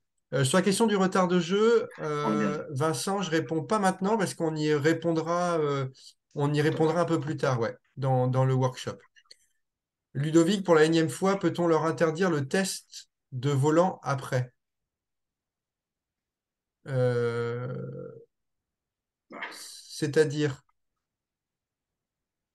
Joachim, euh, tu... Ben non, euh, c'est-à-dire, ben, chaque fois, ils testent en retard, mais je pense pas qu'on peut l'interdire parce que Non, les deux, on peut pas vraiment l'interdire, quoi. Par contre, on peut lui dire, attention, chaque fois tu nous fais le même coup, c'est un non-respect du code de conduite, tu trouveras bien un article là-dessus, et ça sera noté sur le rapport, et il risque une commission de discipline éventuelle pour non-respect des consignes. Mais interdire un test de volant, euh, on peut pas trop, parce qu'on pénalise quand même les deux, les deux On peut joueurs. quoi. pas, on peut pas. On peut pas, c'est-à-dire qu'encore une fois, on est, euh, euh, euh, ce qu'il faut bien comprendre, c'est que le joueur, il est au centre du jeu, il est au centre du tournoi, et tout ce qui gravite autour, c'est pour le joueur. Et voilà. Donc, bah non, on peut pas lui interdire ou quoi que ce soit de test de volant. Donc, on le laisse faire le test de volant, mais là, confère. alors, j'ai pas le code de bonne conduite des joueurs sous les yeux mais allez lire le code de bonne conduite des joueurs. Et je suis sûr que sur la vingtaine d'articles du code de bonne conduite des joueurs, vous allez forcément trouver un article qui parle de, euh, euh, de, euh, de questions de, de respect des, des, consignes ou de, enfin de, choses un peu comme ça. Donc, j'ai pas le règlement lui, donc je vais pas pouvoir vous, vous aiguiller, mais vous pouvez, comme le dit Jo, euh, invoquer l'idée de, l'idée de, bah, de, de dire que c'est une entrave, enfin c'est un, pardon, c'est un non-respect du code de bonne conduite des joueurs et qu'à ce stade, euh, ça, ça peut être euh, écrit dans le rapport et donc faire l'objet d'une commission disciplinaire. Voilà. Je pense pas qu'il y a vraiment besoin d'en arriver là, euh, mais voilà, c'est c'est un argument que vous pouvez donner. Encore une fois, l'idée, c'est d'essayer de faire de la pédagogie et, de, bien amener la chose pour faire en sorte que le joueur soit enclin à le faire. Heureusement, euh, pour nous, juges arbitres, euh, c'est pas euh, sur un tournoi de 200 joueurs, c'est souvent deux ou trois joueurs et, euh, et c'est déjà pas mal. Mais heureusement que c'est pas 50 joueurs, sinon ça serait vraiment compliqué. Euh, oui, Philippe, ça peut être une question de non-respect du règlement complémentaire. Donc, ouais, il y a, il y a sûrement un truc autour de ça euh, à aller regarder dans, dans, dans les codes, dans le code de bonne conduite des joueurs, mais il y aura forcément un moyen pour nous, juges arbitres, de trouver un- un- une question de non-respect du, du code de bonne conduite ou de simplement de non-respect du règlement complémentaire, et qu'à ce titre, euh, le- on peut demander euh, à ce que le joueur soit sanctionné avec une commission. ouais. Peut-on interdire le Euh, test volant si les temps de préparation est dépassé? Mais c'est ce qu'on vient de dire. Non, non, non, non, faut, on ne peut pas interdire le test des volants. Pourquoi? Euh, euh, au-delà du fait que euh, le test de volant est important pour les joueurs, parce que ça permet aussi de se caler d'un point de vue technique sur la, vitesse, etc. Si vous l'interdisez, vous pouvez être sûr que les joueurs vont faire de la merde sur le terrain, ils vont dire ah ben moi j'arrive pas, machin et tout, et que vous allez être appelé sur le terrain, ah ben la vitesse des volants ça va pas, et que vous allez avoir un problème à gérer avec une question de vitesse de volant, ah ben moi je suis d'accord avec la vitesse de volant, ah ben non moi je suis pas d'accord avec la vitesse de volant, etc., etc. Donc, encore une fois, on est sur l'anticipation. On essaye d'anticiper les problèmes. Donc, on essaie, on, on- inutile de se mettre les joueurs à dos en disant, bah non, on t'autorise pas à faire le test volant. Euh, parce que, encore une fois, derrière, le risque, c'est que euh, les joueurs vous disent, ah, tu m'as pas autorisé à tester volant, bah bouge pas. Enfin, dans leur tête, ils se disent, bouge pas, bah, on va bien te faire chier pendant ce match-là. Donc voilà, on évite ça, on l'autorise, et par contre, on lui rappelle que euh, il y a un code, il y a un res- il respecte pas le code de conduite des joueurs, et que la prochaine fois, euh, on se fera un malin, enfin pas un malin plaisir, mais on, on- on le reportera dans, dans le rapport du juge arbitre. C'est le JA qui écrit les consignes des joueurs. Ben, c'est plutôt lui, parce que c'est lui qui va savoir ce qu'il veut dire aux joueurs. C'est comme s'il fait son briefing. C'est exactement la même chose. Oui, c'est le JA. Mais il peut euh, communiquer avec, le- dialoguer avec l'organisateur. Mais c'est lui qui l'écrit. Parce que c'est pas vraiment un document officiel. Voilà, mais effectivement, peut-être que l'organisateur va dire, euh, bah, euh, j'aimerais bien qu'il y ait des consignes un peu qui soient passées sur tel ou tel truc. euh, je n'ai pas d'idées comme ça qui me viennent, mais ça peut être écrit en binôme avec l'organisateur, mais c'est souvent quand même des, consignes qui sont spécifiques du juge arbitre euh, et qui permettent de fluidifier la compétition, de, de rappeler quelques sujets, quoi. Plutôt faire une annonce que les consignes sont affichées à un endroit précis. Euh, en fait, il faut les deux, quoi. Il faut faire l'annonce euh, et, et, et afficher, ouais. Euh, mais si vous faites que l'affiche, ça nous va. Et voilà. Par contre, ne faites pas que l'annonce. Parce que si vous faites que l'annonce, il y en a toujours qui diront Ah ben moi, je suis arrivé à 10 heures du matin, donc je n'ai pas entendu l'annonce, donc je n'étais pas au courant, donc du coup, j'applique pas la règle. Les trois minutes ne servent pas à l'échauffement, c'est une prise de contact avec le terrain, absolument, Vincent. Hein. encore une fois, c'est ce que Joachim disait tout à l'heure.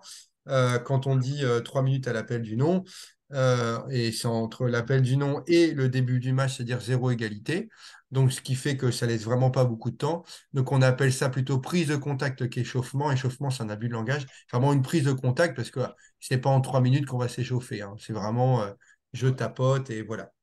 Prise de contact ou temps de préparation.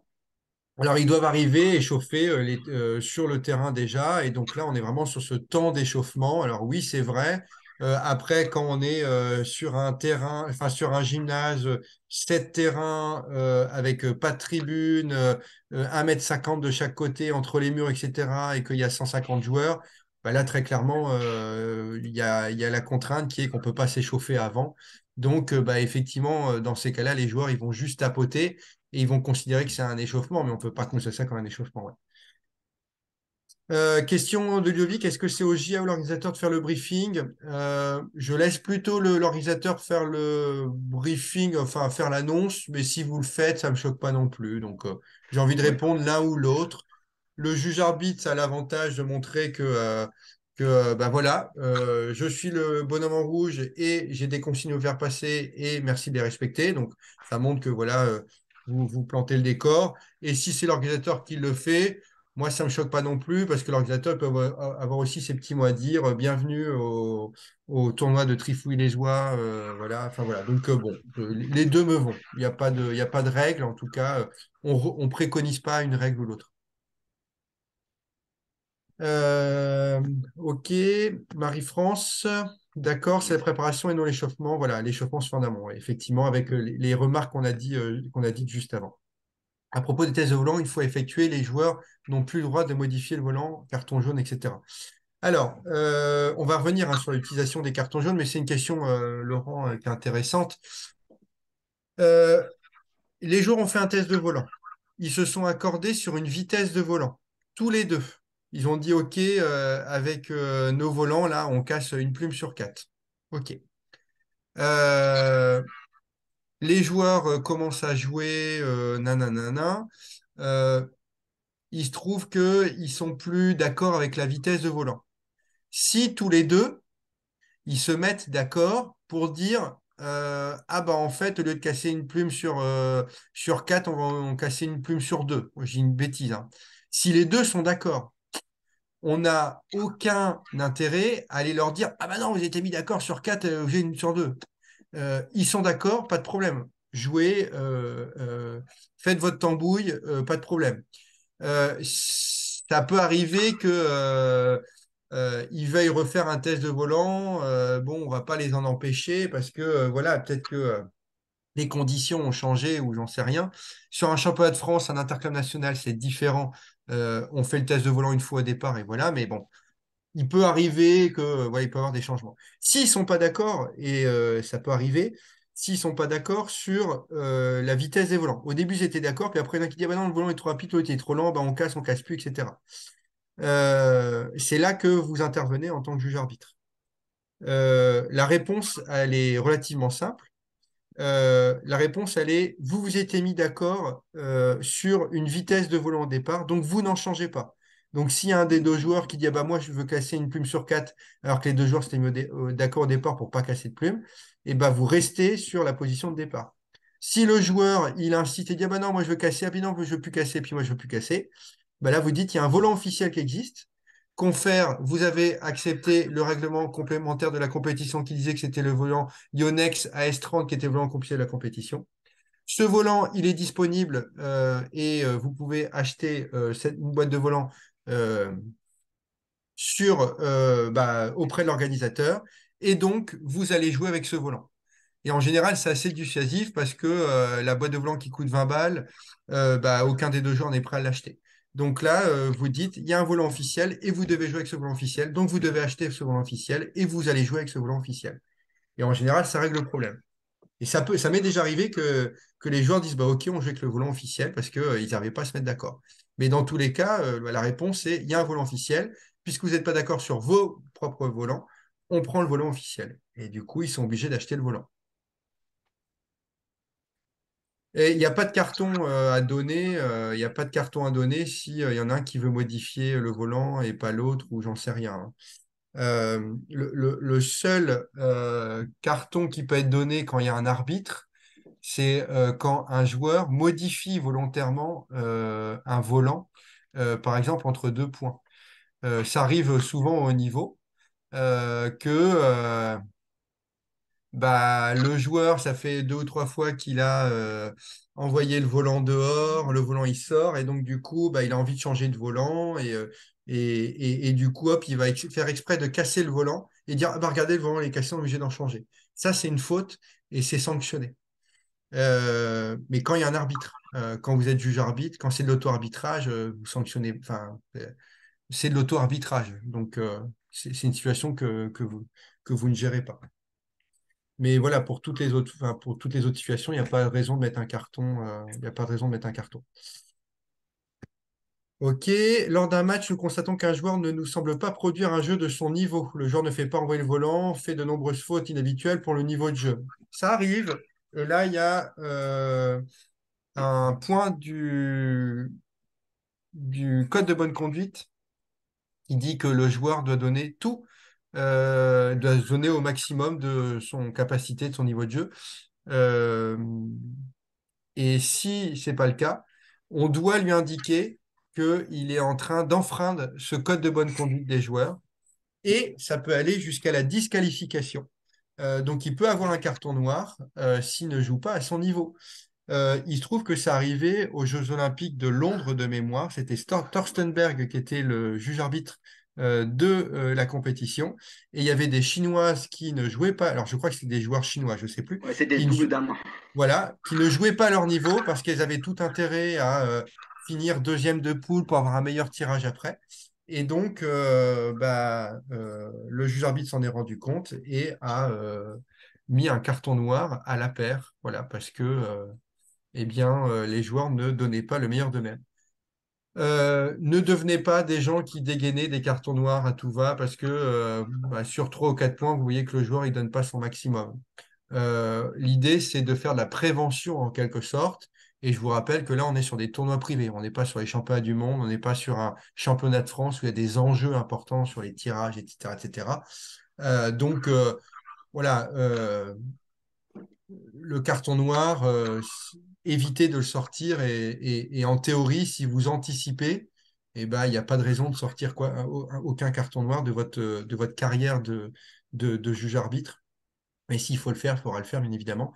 Donc euh, voilà, Euh, s'il ne produit pas le meilleur de son jeu, etc., bah, voilà, il y a, un point du, du code de bonne conduite des joueurs qui, qui dit que c'est une, une, une, une entrave grave en quelque sorte euh, au jeu, quoi.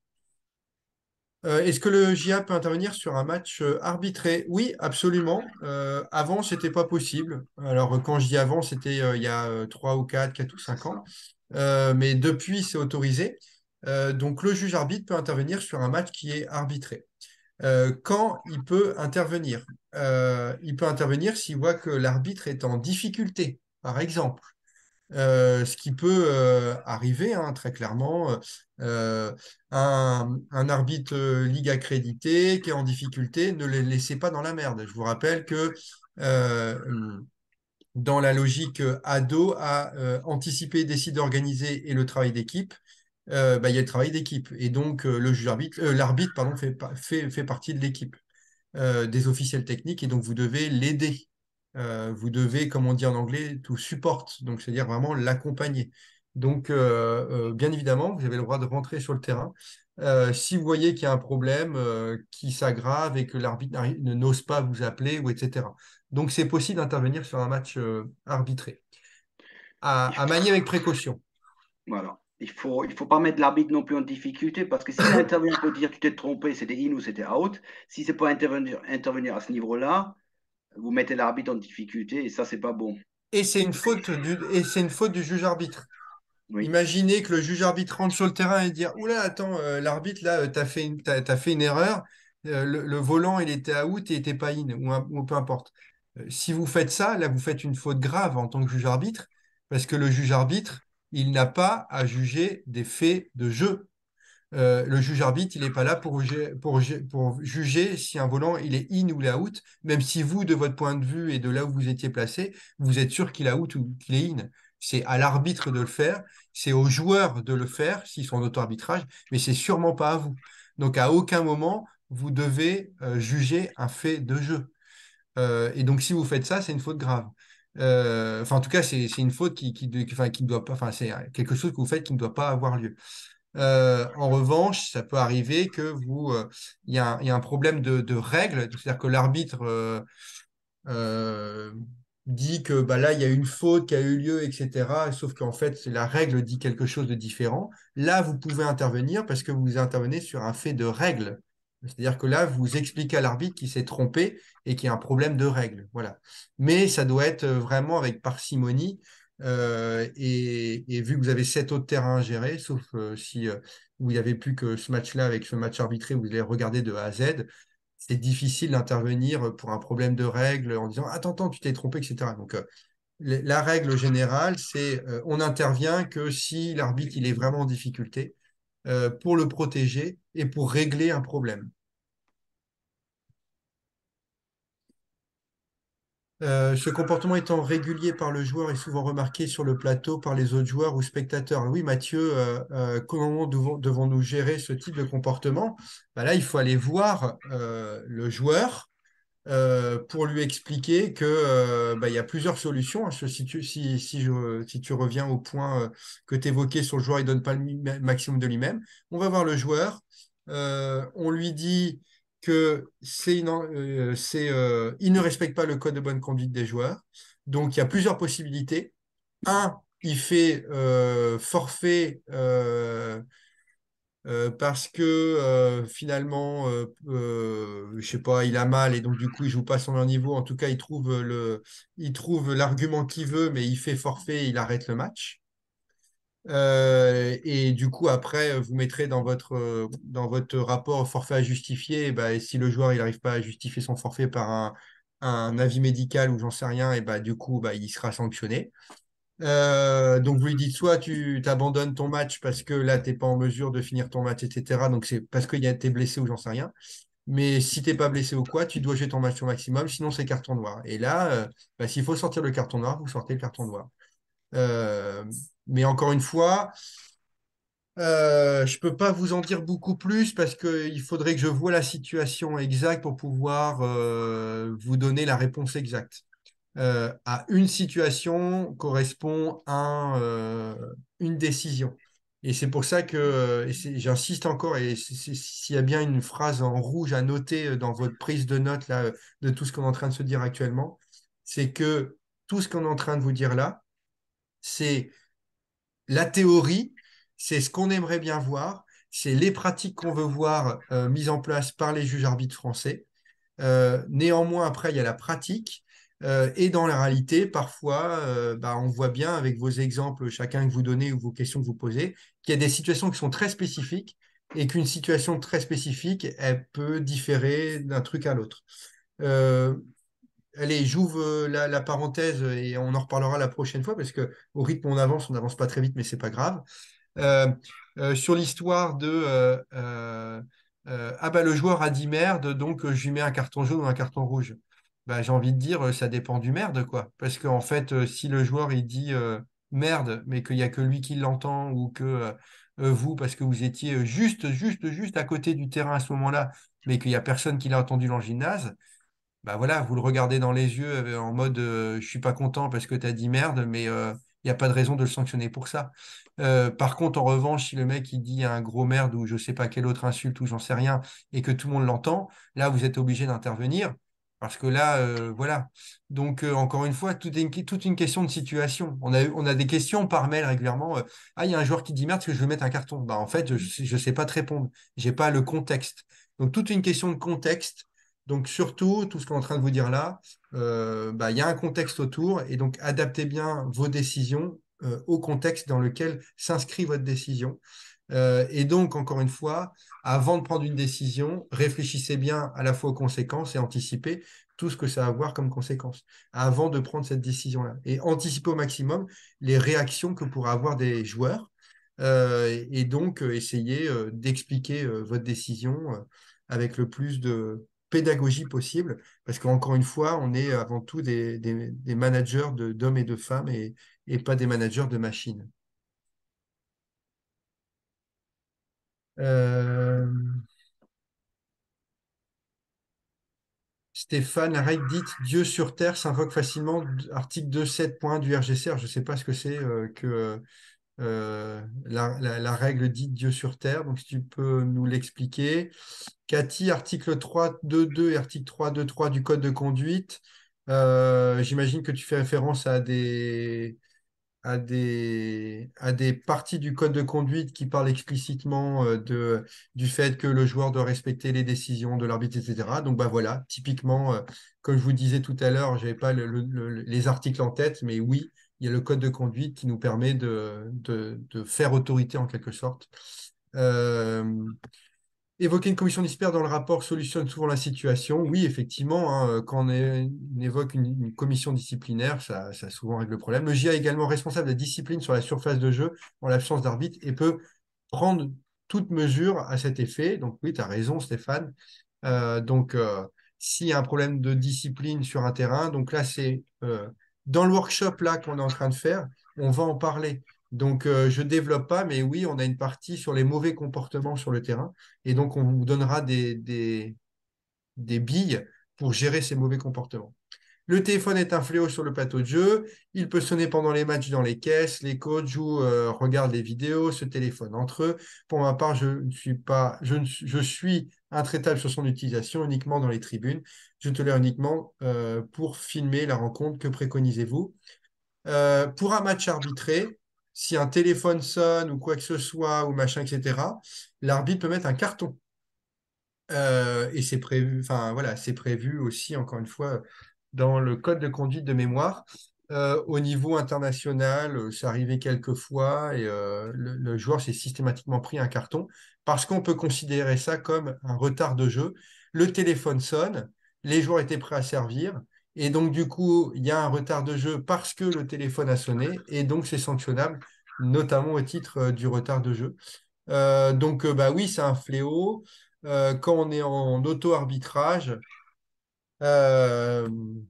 c'est aussi euh, très délicat en tant que juge arbitre parce que euh, on a beau dire vous n'avez pas voté un, un, un, etc. Bah, si on envie de le prendre, ils le prennent. En revanche, euh, vous pouvez aller voir gentiment le joueur, lui dire regardez, il y, a un code de votre conduite qui dit que nanana avec le téléphone portable.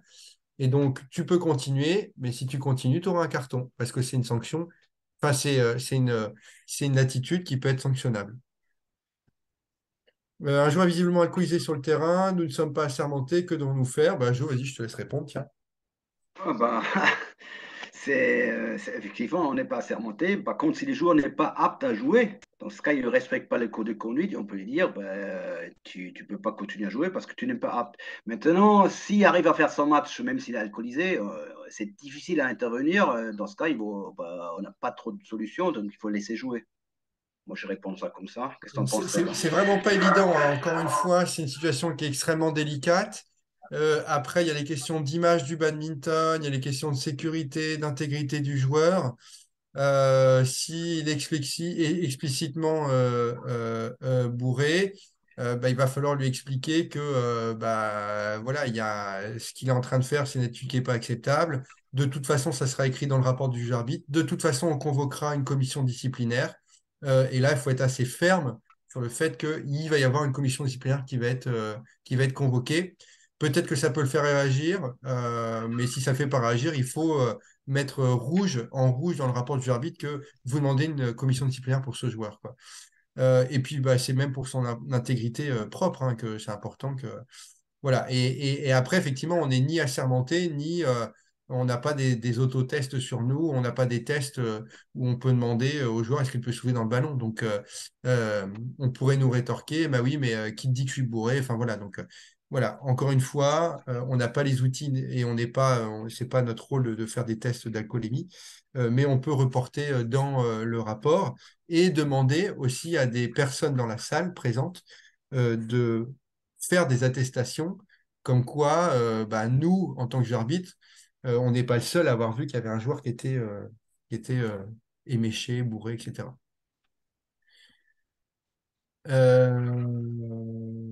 Ok, tac, tac, tac. Que peut-on faire? que peut faire un joueur si le GA ne respecte pas le RGC au niveau de la priorité des sortants en cas d'égalité à 3? Le GA a toujours raison, même s'il a tort. Après, il n'y a pas 50 solutions si le GIA ne veut pas démordre. Après, à la limite, il faut prendre une photo et remonter ça à la CFOT. Et nous, on traitera l'affaire. Mais sur le coup, il faut, il faut dire, montrer au GIA, voilà, le règlement dit ça, tu fais pas ça. Maintenant, s'il ne démord pas, euh, je pense que vous n'aurez pas vraiment gain de cause. Par contre, il faut absolument remonter cette info à, à la CFOT. Et nous, on traitera cette histoire. en fait, c'est ça le truc, hein. C'est-à-dire que, euh, a des juges arbitres euh, qui, euh, ont, qui ont toujours raison en toutes circonstances, même si ils ont tort. Donc, bah, dans ces cas-là, si on, là on est en tant que joueur, bah, il faut prendre des photos, il faut, il faut expliquer, il faut écrire à la CFOT, donc à nous, à arbitrage@ffbat.org. Et nous, ensuite, bah, on contactera le juge arbitre pour en savoir plus, voire pour lui faire un rappel en lui disant que euh, bah, la façon dont la procéder, c'est pas la bonne euh, façon de faire, etc., etc. Mais euh, si vous êtes en tant que joueur et que vous voyez ça, bah, c'est important de le faire remonter à la Fédé parce que nous, on a ce pouvoir, entre guillemets, de contacter le joueur arbitre et de lui, de faire des rappels à l'ordre, entre guillemets. Et on le fait régulièrement. hein, on le fait régulièrement. Ça peut même aller plus loin si vraiment il, il va à l'encontre des règles et tout ça. Il peut être sanctionné, le juge arbitre. C'est déjà arrivé d'ailleurs. Oui, oui, on, on parle de rappel à l'ordre au début et puis euh, ça peut aller jusqu'à la sanction selon la gravité euh, euh, de, de- du problème qu'il a généré, quoi. Euh, Euh, Fabrice, il me semblait qu'il était interdit d'altérer un volant. Donc euh, oui, c'est ce qu'on fait. Enfin, la philosophie de la règle, c'est que euh, on peut casser une, plume sur sur sur quatre, sur deux, j'en sais rien. Quand on fait un test de volant, on dit voilà, ça, voilà, on altère le volant euh, pour jouer à une vitesse qui est raisonnable pour nous. Mais une fois qu'on a défini cette vitesse et les nombres de plumes cassées, etc., après, on ne peut plus altérer euh, le volant. C'est ce que j'ai expliqué tout à l'heure. Par exemple, s'il y a un match arbitré et que l'arbitre voit que le joueur volontairement alterne le volant, et ben c'est sanctionnable par un carton. Euh, ok, euh, il peut pas faire un test à un autre joueur, faire faire un test à un autre joueur. Alors, David, il faudrait que tu remettes dans le contexte de quel test tu parles. Si c'est pas le volant officiel, si c'est un volant de chaque joueur, c'est pas quelqu'un d'autre qui va intervenir. C'est les deux joueurs Non. qui s'arrangent Ah oui, d'accord, oui, non, non, non, non, non, Si non. c'est ça, si c'est dans ce sens-là, Non, non, non, oui, ça c'est d'accord, je comprends ta question, David. Euh, imaginons que les deux joueurs ne sont pas d'accord sur le, sur les volants. Est-ce qu'on a le droit de demander à, une- à un tierce joueur, à un joueur euh, quelconque, de faire le test des volants? Non. Euh, non, non, non, parce qu'on pourra toujours nous rétorquer que, euh, que euh, ah, bah, tu as choisi un joueur qui est le copain de bidule, de machin, etc., etc., et que bah, forcément, ça va favoriser l'un des deux joueurs et tout. Donc, encore une fois, il vaut mieux se prémunir de ça. En revanche, le, volant de la, compétition officielle, il est censé avoir été testé. Euh, euh, et s'il ne l'est pas, euh, et que du coup les joueurs disent bah, ok, on achète la boîte de volant, bon bah voilà, ils ont acheté la boîte de volant. Vous faites faire un test des volants par les deux joueurs en question. Et ensuite, vous prenez votre propre décision, vous décidez de casser une plume sur quatre ou de jouer sans plume cassée, etc. C'est ce qui se passe en interclub national. hein. On demande aux deux équipes, en début d'interclub, on demande aux deux équipes, enfin un joueur de chaque équipe, de tester euh, les volants. Euh, et ensuite, c'est le juge arbitre qui décide de la vitesse du volant. Ce n'est pas les joueurs qui décident de la vitesse du volant. C'est comme ça que ça se passe en interclub. Donc, typiquement, euh, sur un, sur un tournoi privé, si on vient prendre le volant officiel, on demande aux deux joueurs de tester le volant et c'est à vous de vous faire votre propre avis et de trancher est-ce qu'on casse, est-ce qu'on casse pas, etc., etc.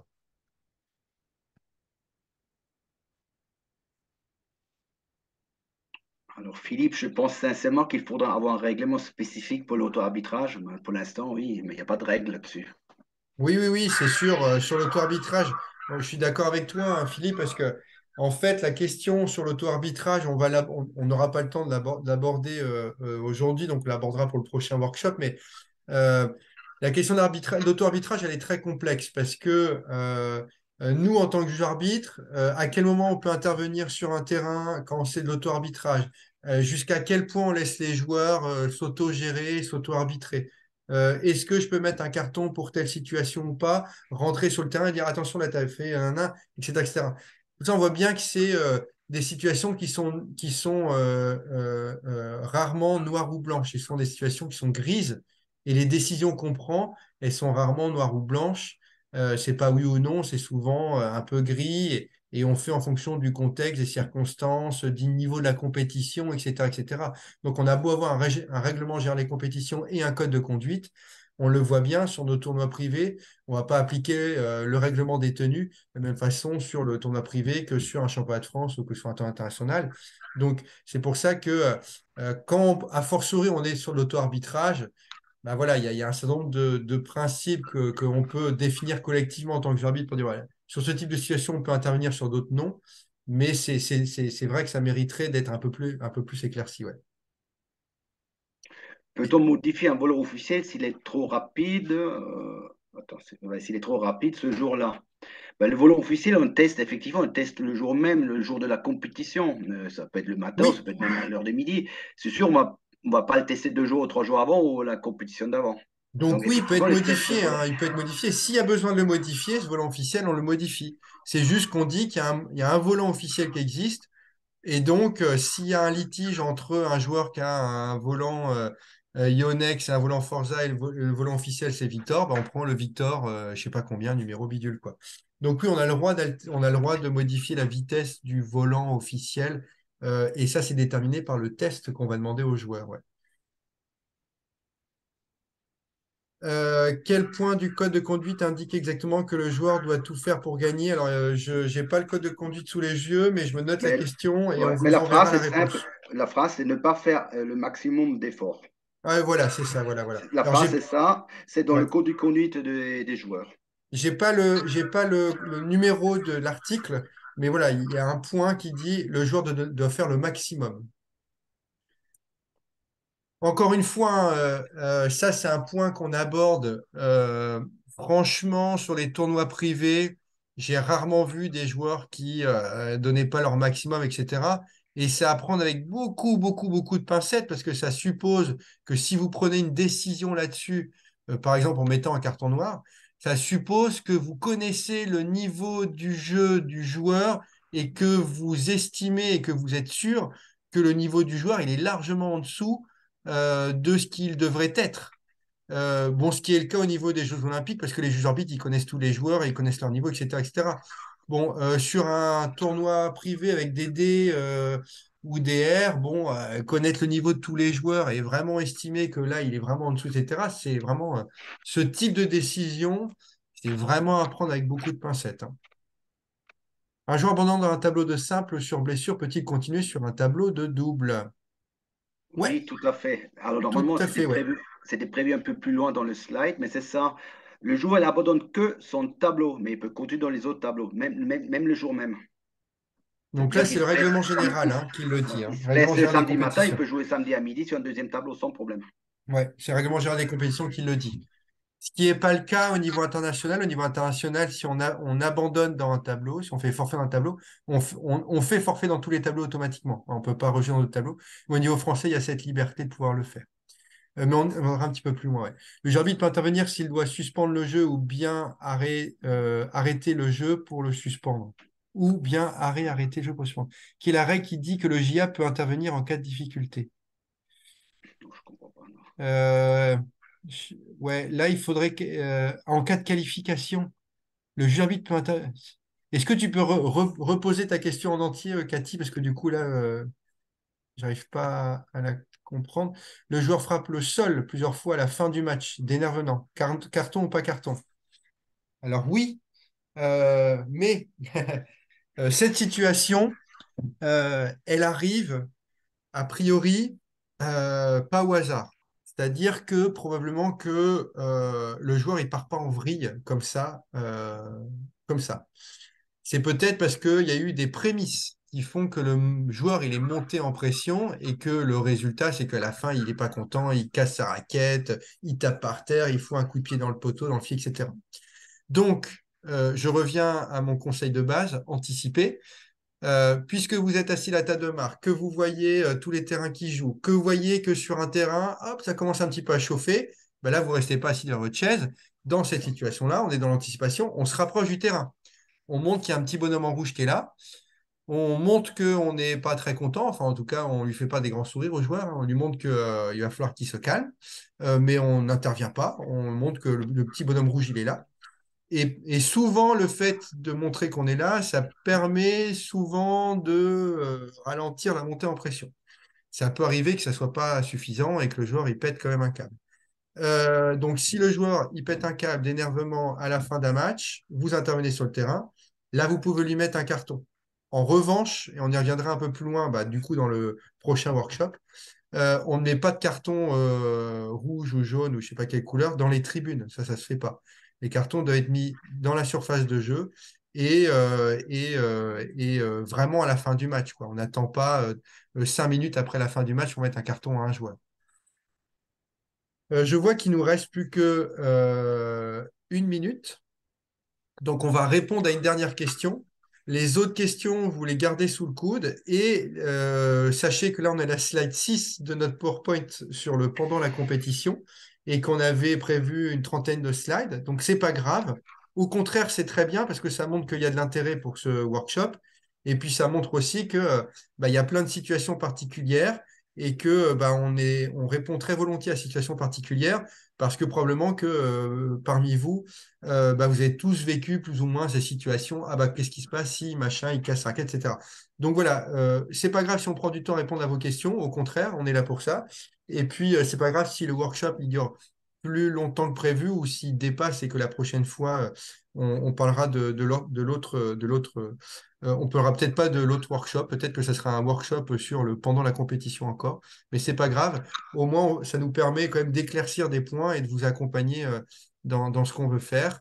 Euh, donc, bah, voilà, 21h30, donc on va pas aller, on va pas avancer plus loin dans, les slides ni dans les réponses aux questions.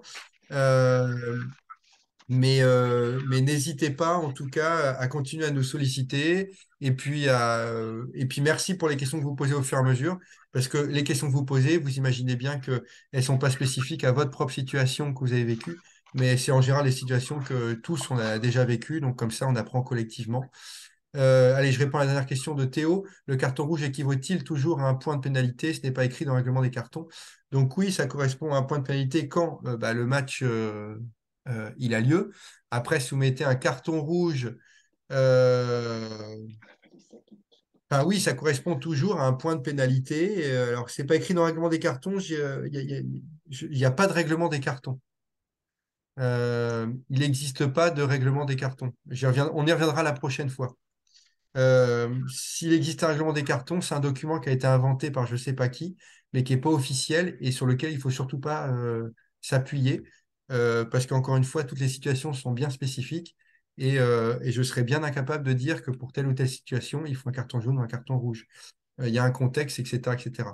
Donc, on en reparlera la prochaine fois et on détaillera un petit peu plus la question de la gestion des cartons. Bah, merci à vous tous. on vous souhaite une bonne soirée et rendez-vous dans deux semaines. C'est ça? C'est ça. Et, euh, et puis, euh, et puis à, très vite. Et encore merci pour toutes vos questions. Et gardez les questions qu'on n'a pas répondues pour la prochaine fois et on se fera un plaisir d'y répondre au début de workshop. Salut à tous!